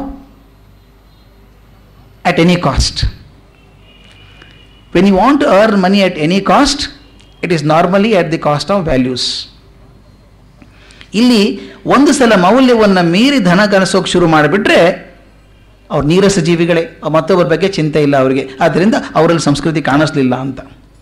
ಮೂರನೇ ಥರ ಜನ ಇದ್ದಾರೆ. ಸಂಸ್ಕೃತಿ ಅಂತ ಇದೆ ಅಂತ ಗೊತ್ತಿಲ್ಲ ಪಾಪ ಅವರಿಗೆ. ಅವ್ರ ಕೆಲಸ ಕಂಗಾಲಾಗಿ ಹೋಗಿದ್ದಾರೆ. ಊಟ ಸಿಕ್ಕಿಲ್ಲ ಅವರಿಗೆ. ಅನ್ಎಂಪ್ಲಾಯ್ಮೆಂಟ್ ಬಹಳ ತುಂಬ ಜಾಸ್ತಿ ಇಂಗ್ಲೆಂಡಲ್ಲಿ ಅವಾಗ. ಊಟ ಸಿಕ್ಕಿಲ್ಲ. ಅವ್ರಿಗೆ ಎಲ್ಲಿ ಸಂಸ್ಕೃತಿ ಚಿಂತೆ ಅವರಿಗೆ? ಅವ್ರ ಕಾಲಕ್ಷೇಪ, ಬದುಕಿದ್ರೆ ಸಾಕು, ಜೀವನ ಮುಗಿಸಿದ್ರೆ ಸಾಕು. ಅಹನ್ಯ ಹನಿ ಕಾಲಕ್ಷೇಪ ಮಾಡುವಂಥ, ನಿರ್ದುಷ್ಟ ಗುರಿ ಇಲ್ಲದಂಥ ಒಂದು ಗುಂಪಿದೆಯಲ್ಲ, ಕಂಗಾಲ ಜನರ ಗುಂಪು. ಈ ಮೂರು ಜನದಲ್ಲಿ ಕಾಣಿಸ್ತಿಲ್ಲ ಯಾರಲ್ಲಿ ಕಾಣಿಸ್ತಾ ಹಾಗಾದ್ರೆ ನಿನಗೆ? ಈ ಮಧ್ಯಮ ವರ್ಗದ ಜನ ಇದ್ದಾರಲ್ಲ, ಅವರಿಗೆ ಸಂಸ್ಕೃತಿ ಬಗ್ಗೆ ಪ್ರೀತಿ ಇದೆ. ಇನ್ನೊಬ್ಬರ ಬಗ್ಗೆ ಸ್ವಲ್ಪ ಕಾಳಜಿ ಇದೆ. ಅಲ್ಲಿ ಸ್ವಲ್ಪ ಸಂಸ್ಕೃತಿ ಸಿಗ್ತೇವೆ ವಿನಃ ಈ ಮೂರು ಹಂತದಲ್ಲಿ ಸಿಗಲಿಲ್ಲ ನನಗೆ ಅಂತ. ಇಲ್ಲೊಂದು ಸೆಂಟೆನ್ಸ್ ಇದೆ. ಅದನ್ನು ಡಿ ವಿ ಜಿ ಹೇಳಿದ್ದನ್ನು ಮಾತ್ರ ಹೇಳ್ಬೋದು ನಾನು. ಅದು ಏನಾದರೂ ಬದಲಾಯಿಸೋಕೆ ಸಾಧ್ಯ ಆಗೋದಿಲ್ಲ ನಮಗೆ. ಹಾಗಾದರೆ ಇಷ್ಟೆಲ್ಲ ಸಂಸ್ಕೃತಿ ಏನು ಹೌದು ಅಂತ ಹೇಳ್ಕೊಂಬಂದೆಲ್ಲ, ಸಂಸ್ಕೃತಿ ವ್ಯಾಖ್ಯೆ ಏನಾದರೂ ಹುಡುಕ್ತಾರ ಡಿ ವಿ ಜಿ ಅಂತಂದಾಗ ಈ ಮಾತು ಸಿಕ್ತು ನನಗೆ. ಎಷ್ಟು ಅದ್ಭುತವಾದ ಪದಪುಂಜ ಅಂದರೆ ಅದು ಸಂಸ್ಕೃತಿ ಎಂಬುದು ಶಾಲೆಗೆ ಹೋಗಿ ಕಲಿತರೆ ಬರುವ ಗುಣವಿಶೇಷವಲ್ಲ. ಇದು, ಆ ಪದ ನೋಡಿ ಎಷ್ಟು ಚೆನ್ನಾಗಿದೆ. ಇದು ಸಾಹಿತ್ಯ ಪರಾಮರ್ಶೆಯ ಮತ್ತು ಲೋಕಾನುಭವ ವಿವೇಕದ ದಾಂಪತ್ಯದಿಂದ ಜನಿಸುವ ಒಂದಾನೊಂದು ಸಕಲ ಸಮಾಧಾನಕರವಾದ ಶೀಲ ಸೌಭಾಗ್ಯ. ಎಷ್ಟು ಅದ್ಭುತ ಮಾತದು ಒಂದು ಪದ, ಒಂದು ಅಕ್ಷರ ತೆಗೆಯೋಕ್ಕಾಗಲ್ಲ ಅದರೊಳಗೆ. ಸಾಹಿತ್ಯ ಪರಾಮರ್ಶೆಯ ಮತ್ತು ಲೋಕಾನುಭವ ವಿವೇಕದ ದಾಂಪತ್ಯದಿಂದ ಜನಿಸುವ ಒಂದಾನೊಂದು ಸಕಲ ಸಮಾಧಾನಕರವಾದ ಶೀಲ ಸೌಭಾಗ್ಯ. ಅದು ಜೀವನದ ನಾನಾ ವಿಷಯಗಳ, ನಾನಾ ಧ್ಯೇಯಗಳ, ನಾನಾ ತತ್ವಗಳ, ನಾನಾ ಧರ್ಮಗಳ ಮೌಲ್ಯ ತಾರತಮ್ಯ ಜ್ಞಾನದಿಂದಾದ ಸಮನ್ವಯ ಸ್ವಾರಸ್ಯ. ನೋಡಿ, ಎಷ್ಟೊಂದು ಧರ್ಮ, ತತ್ವ, ಜ್ಞಾನ ಇದೆಯೋ ಅದೆಲ್ಲವನ್ನ ಸಾಮರಸ್ಯದಿಂದಾಗಿ ಮೌಲ್ಯ ನಿರ್ಮಾಣ ಮಾಡ್ಕೋಬೇಕು ಮೊದಲು. ಮೌಲ್ಯ ನಿರ್ಣಯ ಮಾಡಿ ಸಾಮರಸ್ಯದಿಂದ ಆದಂಥದ್ದು ಏನು ಸ್ವಾರಸ್ಯ ಬರ್ತದಲ್ಲ, ಅದು ಸಂಸ್ಕೃತಿ ಅಂತ. ಅದೇ ವಿನಯ, ಅದೇ ನಯ, ಅದೇ ಮರ್ಯಾದೆ. ಅಷ್ಟು ಕ್ಲಿಷ್ಟವಾದ ಸೆನ್ಸೆನ್ಸ್ ಹೇಳಿಬಿಟ್ಟು ಕೊನೆಗೆ ಸಿಂಪಲಾಗಿ ಹೇಳ್ತಾರೆ, ಅದೇ ನಯ, ಅದೇ ವಿನಯ, ಅದೇ ಮರ್ಯಾದೆ. ಅವರು ಈಗ ಮುಂದೆ ಹೇಳ್ತಾ ಎಷ್ಟು ಚೆನ್ನಾಗಿ ಹೇಳ್ತಾರೆ ಅಂದರೆ, ಸಂಸ್ಕೃತಿ ಅಂದರೆ ಏನು ಅಂತ ಹೇಳೋಕೆ ಹೋಗೋದಿಲ್ಲ. ಯಾವುದು ಸಂಸ್ಕೃತಿ ಅಲ್ಲ ಹೇಳ್ತಾ ಹೋಗ್ತಾರೆ. ಕೊನೆಗೆ ಸಂಸ್ಕೃತಿ ಯಾವುದು ಅಂತ ಹೇಳ್ತಾರೆ. ಸಂಸ್ಕೃತಿ ಅಂದರೆ ಕೇವಲ ಪಾಂಡಿತ್ಯವಲ್ಲ. ಬರೀ ಪಾಂಡಿತ್ಯ ಇದ್ದರೆ ಸಂಸ್ಕೃತಿ ಬಂತು ಅಂತ ಅರ್ಥ ಇಲ್ಲ. ಒಬ್ಬ ವ್ಯಕ್ತಿ ಹತ್ತು ಭಾಷೆ ಕಲ್ತಿರ್ಬೋದು, ಹತ್ತು ಯಾಕೆ, ಇಪ್ಪತ್ತು ಭಾಷೆ ಕಲಿಬೋದು. ಅದರಲ್ಲಿ ಪಾಂಡಿತ್ಯ ಬರ್ಬೋದು ಅವನಿಗೆ ಚೆನ್ನಾಗಿ. ಸಾವಿರ ಪುಸ್ತಕ ಓದಿರಬಹುದು ಆತ ಅವ್ರು ಹೇಳ್ತಾರೆ, ನಿಘಂಟು ಮತ್ತು ಎನ್ಸೈಕ್ಲೋಪೀಡಿಯಾ ಕೂಡ ಬಾಯಾಟ ಮಾಡಿರ್ಬೋದು ಅವನು, ಬಾಯಪಾಠ ಮಾಡಿರ್ಬೋದು. ಏನು ಕೇಳಿದ ತಕ್ಷಣ ಹೇಳ್ತಾನು, ಅಷ್ಟು ಪ್ರಬುದ್ಧ ಆಗಿದ್ದಾನೆ. ಅತ್ಯಂತ ಚುರುಕಾದ ವಾಗ್ಮಿ ಆತ ಚೆನ್ನಾಗಿ ಮಾತಾಡಬಹುದು. ಅಷ್ಟರಿಂದಲೇ ಆತ ಸುಸಂಸ್ಕೃತ ಎಂದು ಹೇಳಲಾಗದು. ನೋಡಿ, ಎಷ್ಟು ಚೆನ್ನಾಗಿ ನಾಡಿ ಹಿಡಿದಿದ್ದಾರೆ. ನಾವು ಸಾಮಾನ್ಯವಾಗಿ ಬಹಳ ಓದಿದವರು ಅಂದರೆ ಜ್ಞಾನಿಗಳು ಅಂತ ಅನ್ಕೋತೇವೆ. ಓದೋದಕ್ಕೂ ಜ್ಞಾನಕ್ಕೂ ಸ್ವಲ್ಪ ವ್ಯತ್ಯಾಸ ಇದೆ. ನಾನು ಘಟನೆ ಹೇಳೋಕೆ ಇಷ್ಟಪಡ್ತೇನೆ. ನನ್ನ ಜೊತೆಗೆ ಹುಡುಗ ಪಿ ಎಚ್ ಡಿ ಮಾಡಿದ. ಮಾಡಿ ಆತ ಅಮೇರಿಕಕ್ಕೆ ಹೋದ. ಅವ್ರ ತಂದೆ ತುಂಬ ಬಡತನದಲ್ಲಿ ಬೆಳೆಸಿದವರು ಅವನ್ನ. ಕನ್ನಡ ಶಾಲೆ ಮೇಷ್ಟ್ರಾಗಿದ್ದವರು ಮನೆಯಲ್ಲಿ ಆಸ್ತಿ ಇಲ್ಲ. ಅಪ್ಪ ಹೇಗೋ ಸಾಲ ಮಾಡಿ ಒಂದು ಶಿರ್ಸಂಗಿ ಟ್ರಸ್ಟ್ ಅಂತಿದೆ, ಅಲ್ಲಿ ಸಾಲ ಮಾಡಿ ಆತನ ಅಮೇರಿಕಾಗೆ ಕಳಿಸಿದರು. ಅಲ್ಲಿ ಹೋಗಿ ಪೋಸ್ಟ್ ಡಾಕ್ಟರ್ ರಿಸರ್ಚ್ ಫೆಲೋಕ್ ಅಂತ ಹೋದವನು, ಅವನಿಗೆ ತೊಂದರೆ ಮುಂದೆ ಎರಡು ವರ್ಷ ಇದ್ದ, ಮೂರು ವರ್ಷ ಇದ್ದ. ಒಂದು ಸಲ ಹೋದರೆ ಬೇರು ಬಿಟ್ಬಿಡ್ತದೆ ಅಲ್ಲೇ ಇಟ್ಕೊಂಡ್ಬಿಟ್ಟು ಆತ ಗ್ರೀನ್ ಕಾರ್ಡ್ ಹೋಲ್ಡರ್ ಆದ ಅನಿಸುತ್ತೆ. ಅಲ್ಲೇ ಮದುವೆನೂ ಮಾಡ್ಕೊಂಡ್ಬಿಟ್ಟ ಆತ. ಅವಾಗಿನೂ ಮದುವೆ ಮಾಡ್ಕೊಂಡಾಗ ಏನೋ ಗ್ರೀನ್ ಕಾರ್ಡ್ ಇರಲಿಲ್ಲ. ಆಕೆ ಮದುವೆ ಮಾಡ್ಕೊಂಡಿದ್ದ ಗ್ರೀನ್ ಕಾರ್ಡ್ ಸಿಕ್ತು ಅವನಿಗೆ ಮದ್ದಾರೆ ಅಮೇರಿಕನ್ ಹುಡುಗಿನ ಮದುವೆ ಆದ್ಕೊಂಡ. ತಪ್ಪು ಅಲ್ಲ ಅದು. ತಂದೆ ಹೇಳಿಲ್ಲ ಅವನು. ತಾಯಿಗೆ ಹೇಳಿಲ್ಲ, ಮದುವೆ ಆಗಿದ್ದೀನಿ ಅಂತ. ತಂದೆ ತಾಯಿ ಹೇಳೂ ಇಲ್ಲ. ನಮಗೆಲ್ಲ ಗೊತ್ತು. ಮದುವೆ ಆಗಿದ್ದಾನೆ ಅವನು ಅಂತ ಗೊತ್ತು. ನಮಗೆಲ್ಲ ಹೇಳ್ಕೊಂಡಿದ್ದ, ತಂದೆ ತಾಯಿಗೆ ಹೇಳಬೇಡ್ರೋ ನಾನು ಕರೆಕ್ಟ್ ಟೈಮ್ ನೋಡ್ಕೊಂಡು ಹೇಳ್ತೀನಿ ನಮ್ಮ ತಂದೆ ತಾಯಿಗೆ ಅದನ್ನು. ಅಂತ ಹೇಳಿದ. ಮೂರು ವರ್ಷದ ನಂತರ ವಾಪಸ್ಸು ಊರಿಗೆ ಬಂದ. ಬೆಳಗಾಂ ಹತ್ತಿರ ಒಂದು ಸಣ್ಣ ಹಳ್ಳಿ ಅವ್ರ ಊರು. ಅವನ್ನ ರಿಸೀವ್ ಮಾಡ್ಕೋಬೇಕು ಅಂತ ನಾವೆಲ್ಲ ಏರ್ಪೋರ್ಟಿಗೆ ಹೋದ್ವಿ ಬೆಳಗಾಂಗೆ. ಸ್ನೇಹಿತ ಬಂದಿದ್ದಾನೆ ಅಂತ. ಅವ್ರ ಮನೆಯಲ್ಲಿ ಚೆನ್ನಾಗಿ ಗೊತ್ತು ನನಗೆ. ನಾನು ಪ್ರೈಮರಿ ಸ್ಕೂಲಿಂದ ನನ್ನ ಕ್ಲಾಸ್ಮೇಟ್ ಆಗಿದ್ದವನು ಅವನು. ಅವ್ರ ತಂದೆದೆಲ್ಲ ಚೆನ್ನಾಗಿ ಪರಿಚಯ ನನಗೆ. ಬೆಳಗಾಂ ಏರ್ಪೋರ್ಟಿಗೆ ಹೋದರೆ ಒಂದೇ ಫ್ಲೈಟ್ ಬರೋದು ಅವಾಗ ಬೆಳ, ಬಾಂಬೆದಿಂದ. ಏರ್ಪೋರ್ಟ್ ಲಾಂಜಲ್ಲಿ ನಾನು ಒಳಗೆ ಹೋಗ್ತಿರ್ಬೇಕಾದ್ರೆ ಅವ್ರ ತಂದೆ ಕೂತಿದ್ರು. ಕಲ್ಪಿಸ್ಕೋಬೋದು ಪಾಪ ಹಳೆ ಶಾಲೆ ಮೇಷ್ಟ್ರು ಭಾಳ ಹಣ್ಣಾಗಿ ಹೋಗಿದ್ದಾರೆ, ಬಡತನದಲ್ಲಿ ಹಣ್ಣಾಗಿ ಹೋಗಿದ್ದಾರೆ. ಕೊಳಕ, ದೋತ್ರ, ಕರಿ, ಕೋಟು, ಟೋಪಿ ಹಾಕ್ಕೊಂಡು ಅಲ್ಲಿ ಕೂತಿದ್ದಾರೆ ಪಾಪ. ದಾಡಿ ಮಾಡ್ಕೊಂಡಿಲ್ಲ, ಕುರ್ಚಿಲ್ ಗಡ್ಡ ಕೂತಿದ್ದಾರೆ. ನಾನು ಹೋಗಿ, ಏನು, ಹೇಗಿದ್ದೀರಿ? ಮಗ ಬರ್ತಾನಲ್ಲ ಖುಷಿ ಆಯ್ತಲ್ಲ? ಅಂತೆಲ್ಲ ಮಾತಾಡಿದೆ. ಕೂತ್ಕೊಪ್ಪ ಒಂದು ಹತ್ತು ನಿಮಿಷ ಮಾತಾಡಿದರು. ಆನಂತರ ಫ್ಲೈಟ್ ಬರುತ್ತೆ ಅಂತ ಗೊತ್ತಾದ ತಕ್ಷಣ ನಾವೆಲ್ಲ ಒಂದು ಐದಾರು ಜನ ಮುಂದೆ ಹೋದ್ವಿ. ಕೆಲವು ಸ್ನೇಹಿತರೆಲ್ಲ ಹಾರ, ಗೀರ ತಂದಿದ್ರು ಅವನಿಗೆ. ಅವನು ಬಂದ, ಹಾರ ಹಾಕಿದ್ವಿ. ಹಾರ ಹಾಕಿ ನೋಡ್ತೀವಿ ಅವರ. ತಂದೆ ಕಾಣಿಸ್ತಾನೆ ಇಲ್ಲ ಅಲ್ಲಿ. ಅವ್ರ ತಂದೆ ಮಗನಿಗೆ ಮಾತಾಡಿಸ್ತಾ ಇಲ್ಲ ಅವರು. ತಂದೆ ಇಲ್ಲ ಅಲ್ಲಿ ಲಾಬಿಯಲ್ಲಿ ನಾನು ಹೇಳಿದ್ದೀನಿ ತಂದೆ ಬಂದಿದ್ರಲ್ಲೋ? ಹೌದಾ? ನನಗೆ ಗೊತ್ತಾಗಲಿಲ್ಲ ಅಂದ ಅವನು ಇಲ್ಲ, ಬಂದಿದ್ರಪ್ಪ, ನಾನು ನೋಡಿದ್ದೀನಿ ಮಾತಾಡಿದ್ದೀನಿ ಎಲ್ಲಿ ಹೋದ್ರೆ ಗೊತ್ತಾಗಲಿಲ್ಲ. ಹುಡುಕಾಡಿದ್ವಿ, ಕಾಣಿಸ್ತಿಲ್ಲ ಅವರು. ಆಯ್ತು ಬಿಡು, ಮನೆಗೆ ಬರ್ತಾರೆ ಬಿಡು ಅಂತಂದಾತ ನಾವು ಟ್ಯಾಕ್ಸಿ ಮಾಡಿಕೊಂಡು ಅವನು ಊರಿಗೆ ಹೋದ್ವಿ ಹಳ್ಳಿಗೆ. ಹಳ್ಳಿಗೆ ಹೋಗಿ ಸುಮಾರು ಎರಡು, ಎರಡೂವರೆ ಗಂಟೆ ಆದ ನಂತರ ತಂದೆ ಮನೆಗೆ ಬಂದರು. ಬಸ್ಸಿಗೆ ಬಂದಿದ್ದಾರೆ, ಸುಸ್ತಾಗಿ ಬಂದಿದ್ದಾರೆ ಪಾಪ ಬಸ್ಸಲ್ಲಿ. ನಾನು ಕೇಳಿದೆ, ಏನು ಅಂಕಲ್ ಎಲ್ಲಿದ್ದಿರಿ ನೀವು? ತುಂಬ ಹುಡ್ಕಾಡಿದೆ ನಿಮ್ಮನ್ನು. ಅಲ್ಲ, ಮಗ ಬರೋದಕ್ಕಿಂತ ಮೊದಲು ತಯಾರಾಗಿ ಕೂತವ್ರು ನೀವು. ಮಗ ಬಂದಾಗ ಹೋಗ್ಬಿಟ್ರಿ ಎಲ್ಲನೂ? ಮಾತಾಡ್ತಿಲ್ಲ ಮಗನ? ಅಂತ ಹೇಳಿದೆ. ಅವ್ರು ಹೇಳಿದ ಉತ್ತರ ಇದೆಯಲ್ಲ, ಎಷ್ಟು ಅದ್ಭುತವಾದ ಉತ್ತರ ಅಂದರೆ ಅವ್ರು ಹೇಳಿದರು, ಇಲ್ಲಪ್ಪ, ನಾನು ನೋಡಿದೆ ಮಗನ್ನ, ತುಂಬ ಸಂತೋಷಪಟ್ಟೆ. ಚೆನ್ನಾಗಾಗಿದ್ದಾನೆ ಹುಡುಗ ಈಗ. ಅವನು ನಾನು ನೋಡಿದೆ ಕಣೋ. ಆದರೆ ಎಲ್ಲ ಹೊಸ ಹುಡುಗರು ನೋಡಿ ನೀವೆಲ್ಲ ಸುತ್ತಲ ಇದ್ದೀರಲ್ಲ, ಅವನಿಗೆ ಮುಜುಗರ ಆಗತ್ತಲ್ವ ನನ್ನ ಹತ್ರ ಬರೋದಕ್ಕೆ? ಪಾಪ ಅವನಿಗೆ ಯಾಕೆ ಮುಜುಗರ ಮಾಡಬೇಕು? ನಾನು ಬಸ್ಸಿಗೆ ಬಂದುಬಿಟ್ಟೆ. ಮನೆಗೆ ಬರ್ತಾನಲ್ಲ, ಹೇಗೋ ಮಾತಾಡೋಣ ಅಂತ. ನೋಡಿ ಸಂಸ್ಕೃತಿಗೂ, ಶಾಲೆ ಕಲ್ತದ್ದಕ್ಕೂ ಅರ್ಥನೇ ಇಲ್ಲ. ಒಂದೊಂದಕ್ಕೂ ಸಮನ್ವಯ ಇಲ್ಲ. ಇವನು ಎರಡು ಪಿ ಎಚ್ ಡಿ ಮಾಡಿದವನವನು ತಂದೆಗೆ ಹೋಗಿ ನಮಸ್ಕಾರ ಮಾಡಬೇಕು ಅಂತ ಪರಿಜ್ಞಾನ ಇಲ್ಲ ಅವನಿಗೆ. ಏರ್ಪೋರ್ಟಲ್ಲಿ ಫ್ರೆಂಡ್ಸ್ ಮುಂದೆ ಹೋಗಿ ನಮಸ್ಕಾರ ಮಾಡೋದು. ತಂದೆ ಅವನು ನೋಡಿದ್ದಾರೆ ಅವನು ತಂದೆ ನೋಡಿದ್ದಾನೆ ತಂದೆ ಎಷ್ಟು ಸೂಕ್ಷ್ಮತಿರು ಅಂದರೆ ಅರ್ಥ ಮಾಡ್ಕೊಂಡ್ಬಿಟ್ಟಿದ್ದಾರೆ ಮಗನ ಮುಜುಗರ ಆಗ್ತದೆ, ನಾನು ಹೋಗಿ ಮಾತಾಡಿಸಿದ್ರೆ ಈಗ. ಅದಕ್ಕೊಂದು ಇಂಗ್ಲೀಷಲ್ಲಿ ಒಂದು ಮಾತು ಉಂಟು ಸ್ನೇಹಿತರೆ. ಈ ಅಡೋಲೆಸೆಂಟ್ ಏಜ್ ಅಂತಿದೆಯಲ್ಲ. ಅಡೋಲೆಸೆಂಟ್ ಏಜ್ ಅದು ಟೀನೇಜ್ ಹದಿಹರೆಯ ಅಂತೀವಲ್ಲ. ಹದಿಹರೆಯ ಎಲ್ಲಿವರೆಗೆ ಇರ್ತದೆ ಅಂತ? ಒಬ್ಬ ಮಾರ್ಕ್ ಟ್ವೇನ್ ಅನ್ನೋನು ಭಾಳ ಚೆನ್ನಾಗಿ ಹೇಳ್ತಾನೆ. Adolescence is a age when one is shy of introducing is old fashion parents to is friends ಅಂತ. Some of us remain adolescent throughout our life ತಂದೆ ಅಥವಾ ತಾಯಿ ಸ್ವಲ್ಪ, ತಂದೆ ತಾಯಿ ಹಳಬರೇ ಇರಬೇಕಲ್ಲ. ಹೊಸಬರು ಇರೋಂಗಾಗುತ್ತೆ ಬಂದಾಗ ನೀವು ಹೊರಕೊಳ್ಬೇಡ ಒಳಗೆ ಹೋಗು ನೀನು. ಯಾಕೆ? ಹಳಬರು ಅವರು. ಅವರೊಂಥರ ನಮ್ಮ ಸಂಸ್ಕೃತಿಗೆ ಹೊಂದ್ಕೊಳ್ಳೋದಿಲ್ಲ ಅನಿಸ್ಬಿಡುತ್ತೆ. ಆದರೆ ಡಬಲ್ ಪಿ ಎಚ್ ಡಿ ಮಾಡಿದಂಥ ಮನುಷ್ಯ ಈತ, ತಂದೆಗೆ ನಮಸ್ಕಾರ ಮಾಡೋಕೆ ಸ್ವಲ್ಪ ಮುಜುಗರ ಪಟ್ಟಂಥ ಮನುಷ್ಯ, ತಂದೆ ಎಷ್ಟು ಸೂಕ್ಷ್ಮದಿರೋರು ಮಗನಿಗೆ ಎಲ್ಲಿ ಮುಜುಗರ ಆಗ್ಬಿಡುತ್ತೋ? ಪಾಪ ಅವ್ನಿಗೆ ಯಾಕೆ ಮುಜುಗರ ಮಾಡಬೇಕು? ಮನೆಗೆ ಬರ್ತಾನೆ ಅಂತ ಮನೆಗೆ ಬಸ್ಸಲ್ಲಿ ಬಂದ್ರಲ್ಲ? ಸುಸಂಸ್ಕೃತರು ಯಾರು? ಶಿಕ್ಷೆ ಪಡ್ಕೊಂಡವ್ರು ಯಾರು ಅಂತ. ನಾನು ಹೇಳ್ತೀನಿ, ಅವ್ರ ತಂದೆ ತುಂಬ ಸುಸಂಸ್ಕೃತರು. ಇವನಿಗೆ ಡಿಗ್ರಿ ಇದೆ, ಸಂಸ್ಕೃತಿ ಬರಲಿಲ್ಲ. ಅದಕ್ಕೆ ಡಿ ವಿಜಿ ಹೇಳ್ತಾರೆ, ಹತ್ತು ಪುಸ್ತಕ ಓದಿರ್ಬೋದು, ಸಾವಿರ ಪುಸ್ತಕ ಓದಿರ್ಬೋದು, ನಿಘಂಟೆ ಬಯಾಟ್ ಮಾಡಿರ್ಬೋದು, ಎಲ್ಲ ಮಾಡಿರ್ಬೋದು, ಆದರೆ ಸುಸಂಸ್ಕೃತ ಆದ ಅಂತ ಹೇಳೋಕ್ಕೆ ಬರೋದಿಲ್ಲ ಇದರಿಂದ ಅಂತ. ನೆಕ್ಸ್ಟ್ ಬರ್ತಾರೆ. ಒಬ್ಬ ಮನುಷ್ಯ ಪ್ರಪಂಚ ಎಲ್ಲ ಸುತ್ತಿರಬಹುದು ಎಲ್ಲ ದೇಶದ ಮೂಲೆ ಮೂಲೆಗಳನ್ನು ನೋಡಿರಬಹುದು ಸಹಸ್ರಾರು ಜನರು ಕೂಡ ವ್ಯವಹಾರ ಮಾಡಿರ್ಬೋದಾತ. ಎಷ್ಟರ ಮಟ್ಟಿಗೆ ಪ ಇನ್ಫಾರ್ಮೇಷನ್ ತೊಗೊಂಡಿದ್ದಾನೆ ಅಂದರೆ ಸರ್ಕಾರದ ವರದಿಗಳಿಂದ ತೊಗೊಂಡಿದ್ದಾನೆ ವಾರ್ತಾಪತ್ರಗಳಿಂದ ತೊಗೊಂಡಿದ್ದಾನೆ ಇಂಟರ್ನೆಟ್ ಬಂದುಬಿಟ್ಟಿದೆ ಅದರಿಂದ ತೊಗೊಂಡಿದ್ದಾನೆ. ಸಂಗ್ರಹ ಮಾಡಿ ಮಾಡಿ, ವಿಷಯ ಸಂಗ್ರಹಣೆ ಮಾಡಿ, ಏನು ಕೇಳಿದ್ರೆ ಹೇಳ್ಬಿಡ್ತಾನೆ ರೀ ಅವನು. ಅಷ್ಟರ ಮಟ್ಟಿಗೆ ವಿಷಯ ಸಂಗ್ರಹಣೆ ಮಾಡ್ಕೊಂಡಿದ್ದಾನೆ. ಅವನೀಗ, ಅವ್ನು ಭಾಳ ಚೆನ್ನಾಗಿ ಬರೀತಾರೆ ಅವರು. ಅವರು ಎಲ್ಲ ವಿಷಯಗಳನ್ನು ತನ್ನ ಉಗ್ರಾಣದಲ್ಲಿ ಸಂಗ್ರಹಿಸಿ ಕೊಟ್ಟಿರಬಹುದು ಅಂತ. ನೆನಪಿನ ಉಗ್ರಾಣ ಇದೆಯಲ್ಲ, ಸೇರಿಸಿಟ್ಕೊಂಡಿದ್ದಾನೆ. ಏನು ಕೇಳಿದ್ರೆ ಹೇಳ್ತಾನೆ ವಿಷಯ ಗೊತ್ತಿದೆ ಅವನಿಗೆ. ಈ ಉಗ್ರಾಣದ ಸಂಗ್ರಹದಿಂದ ಸಂಸ್ಕೃತಿ ಆಗಲಾರದು. ಉಗ್ರಾಣದ ತುಂಬಿಕೊಂಡಿದ್ದೀನಲ್ಲ ವಿಷಯ, ಅದರಿಂದ ಆಗೋದಿಲ್ಲ. ಯಾರೋ ಹೇಳ್ತಾ ಇದ್ರು, ಇಷ್ಟು ದೇಶ ಅಡ್ಡಾಡಿ ಬಂದಿದ್ದೀನಿ ನಾನು, ಅಷ್ಟು ದೇಶ ಅಡ್ಡಾಡಿ ಬಂದಿದ್ದೀನಿ ಅಂತ ಯಾರಿಗೂ ಹೇಳಿದ್ರಂತೆ. ಅದಕ್ಕೊಬ್ಬರು ಸ್ನೇಹಿತರು ಹೇಳಿದ್ರು ನನಗೆ, ಇಲ್ಲಪ್ಪ, ಅದು ಎಷ್ಟು ದೇಶ ಹೋಗಿದೆಯೋ ಗೊತ್ತಿಲ್ಲ ನನ್ನ ಮನೇಲಿ ಸೂಟ್ ಕೇಸ್ ಇದೆ, ನಂಬರ್ ಲಾಕ್ ಇರೋದು. ಅದು ಐವತ್ತು ದೇಶಕ್ಕೂ ಬಂದಿದೆ, ಅದೇನು ಬುದ್ಧಿ ಬರಲಿಲ್ಲ ಅದಕ್ಕೆ ಅಂತ. ಯಾರು ಹೋದ್ರೂ ತೊಗೊಂಡು ಹೋಗ್ತಾರೆ, ನಂಬರ್ ಲಾಕ್ ಇದೆಯಲ್ಲ, ಚೆನ್ನಾಗಿದೆ ಸೂಟ್ ಕೇಸ್ ಕೊಡ್ರಿ ಅಂತಾರೆ ಫಾರಿನ್ಗೆ ಹೋದಾಗೆಲ್ಲಾನು ಐವತ್ತು ದೇಶಕ್ಕೆ ಹೋಗಿ ಬಂದಿದೆ ಅದು. ಇನ್ನೂ ಅದಕ್ಕೆ ಬುದ್ಧಿ ತನ್ನಷ್ಟು ತಾನು ಓಪನ್ ಆಗೋದೇ ಇಲ್ಲ, ಅದು ನಾನೇ ಓಪನ್ ಮಾಡಬೇಕು ಅದನ್ನು. ಅಂದರೆ ದೇಶ ಸುತ್ತಿ ಬಂದರೆ, ವಿಷಯ ಸಂಗ್ರಹಣೆ ಮಾಡಿಕೊಂಡ್ರೆ, ಅದು ನನ್ನ ಮನಸ್ಸಿಗೆ ಪರಿಷ್ಕಾರ ಮಾಡಿತು ಅಂತಿಲ್ಲ. ಅದರಿಂದ ಸುಸಂಸ್ಕೃತ ಆಗಲಾರ ಅಂತ. ಇನ್ನು ಕೆಲವರಿಗೆ ತುಂಬ ಜಾಣತನ ಇದೆ. ಯುಕ್ತಿಗಳಿದೆ ಹೇಗೆ ಪಾರಾಗಬೇಕು ಅಂತ. ಚಮತ್ಕಾರದಿಂದ ಮಾತಾಡ್ತಾರೆ. ಹೇಗೆ ಮಾತಾಡ್ತಾರೆ ಅಂದರೆ ತರ್ಕ ಉಪಯೋಗಿಸ್ಬಿಟ್ಟು ಸೂಕ್ಷ್ಮಾತಿ ಸೂಕ್ಷ್ಮವಾದಂಥ ವಿಷಯಗಳನ್ನು ಪ್ರಸ್ತಾಪ ಮಾಡಿ, ಪಂಡಿತ ಸಭೆಯಲ್ಲಿ ಎಲ್ಲರನ್ನ ಚಕಿತ ಮಾಡಿ, ದೊಡ್ಡವ್ರ ಬಾಯೆಲ್ಲ ಮುಚ್ಚಿಸ್ಬಿಡ್ತಾರೆ. ಅಷ್ಟು ಪ್ರಖರವಾದ ವಾಗ್ಮಿಗಳಿದ್ದಾರೆ. ಕಾರ್ಯ ನಡೆಸೋದ್ರೊಳಗೆ ತಮ್ಮ ಕೆಲಸ ಮಾಡ್ಕೊಳ್ಳೋದ್ರೊಳಗೆ ಚಾಕಚಕ್ಯತೆಯಿಂದ ಮಾಡಿ ಉಪಾಯದಿಂದ, ನಯದಿಂದ ಕೆಲಸ ಮಾಡ್ಕೋತಾರೆ. ಇದೆಲ್ಲ ಶಕ್ತಿ ಇದೆಯಲ್ಲ? ಇದು ಸಂಸ್ಕೃತಿ ಅಲ್ಲ. ಸಂಗೀತ ಚೆನ್ನಾಗಿ ಬರುತ್ತೆ ಅವನಿಗೆ. ಅದ್ಭುತವಾದ ಸಾಧನೆ ಮಾಡಿದ್ದಾರೆ ಸಂಗೀತದಲ್ಲಿ. ಲಲಿತ ಕಲಾ ಅಭಿರುಚಿ ಕೂಡ ತುಂಬ ಚೆನ್ನಾಗಿದೆ. ಅದು ಸಂಸ್ಕೃತಿ ಅಲ್ಲ. ಡಿ ವಿ ಜಿ ಹೇಳ್ತಾ ಹೋಗೋದು ಒಂದೊಂದನೆ. ಇದು ಸಂಸ್ಕೃತಿ ಅಲ್ಲ ಇದು. ಒಬ್ಬ ಸರ್ವ ರಾಗಗಳನ್ನು ಗುರುತಿಸಬಹುದು.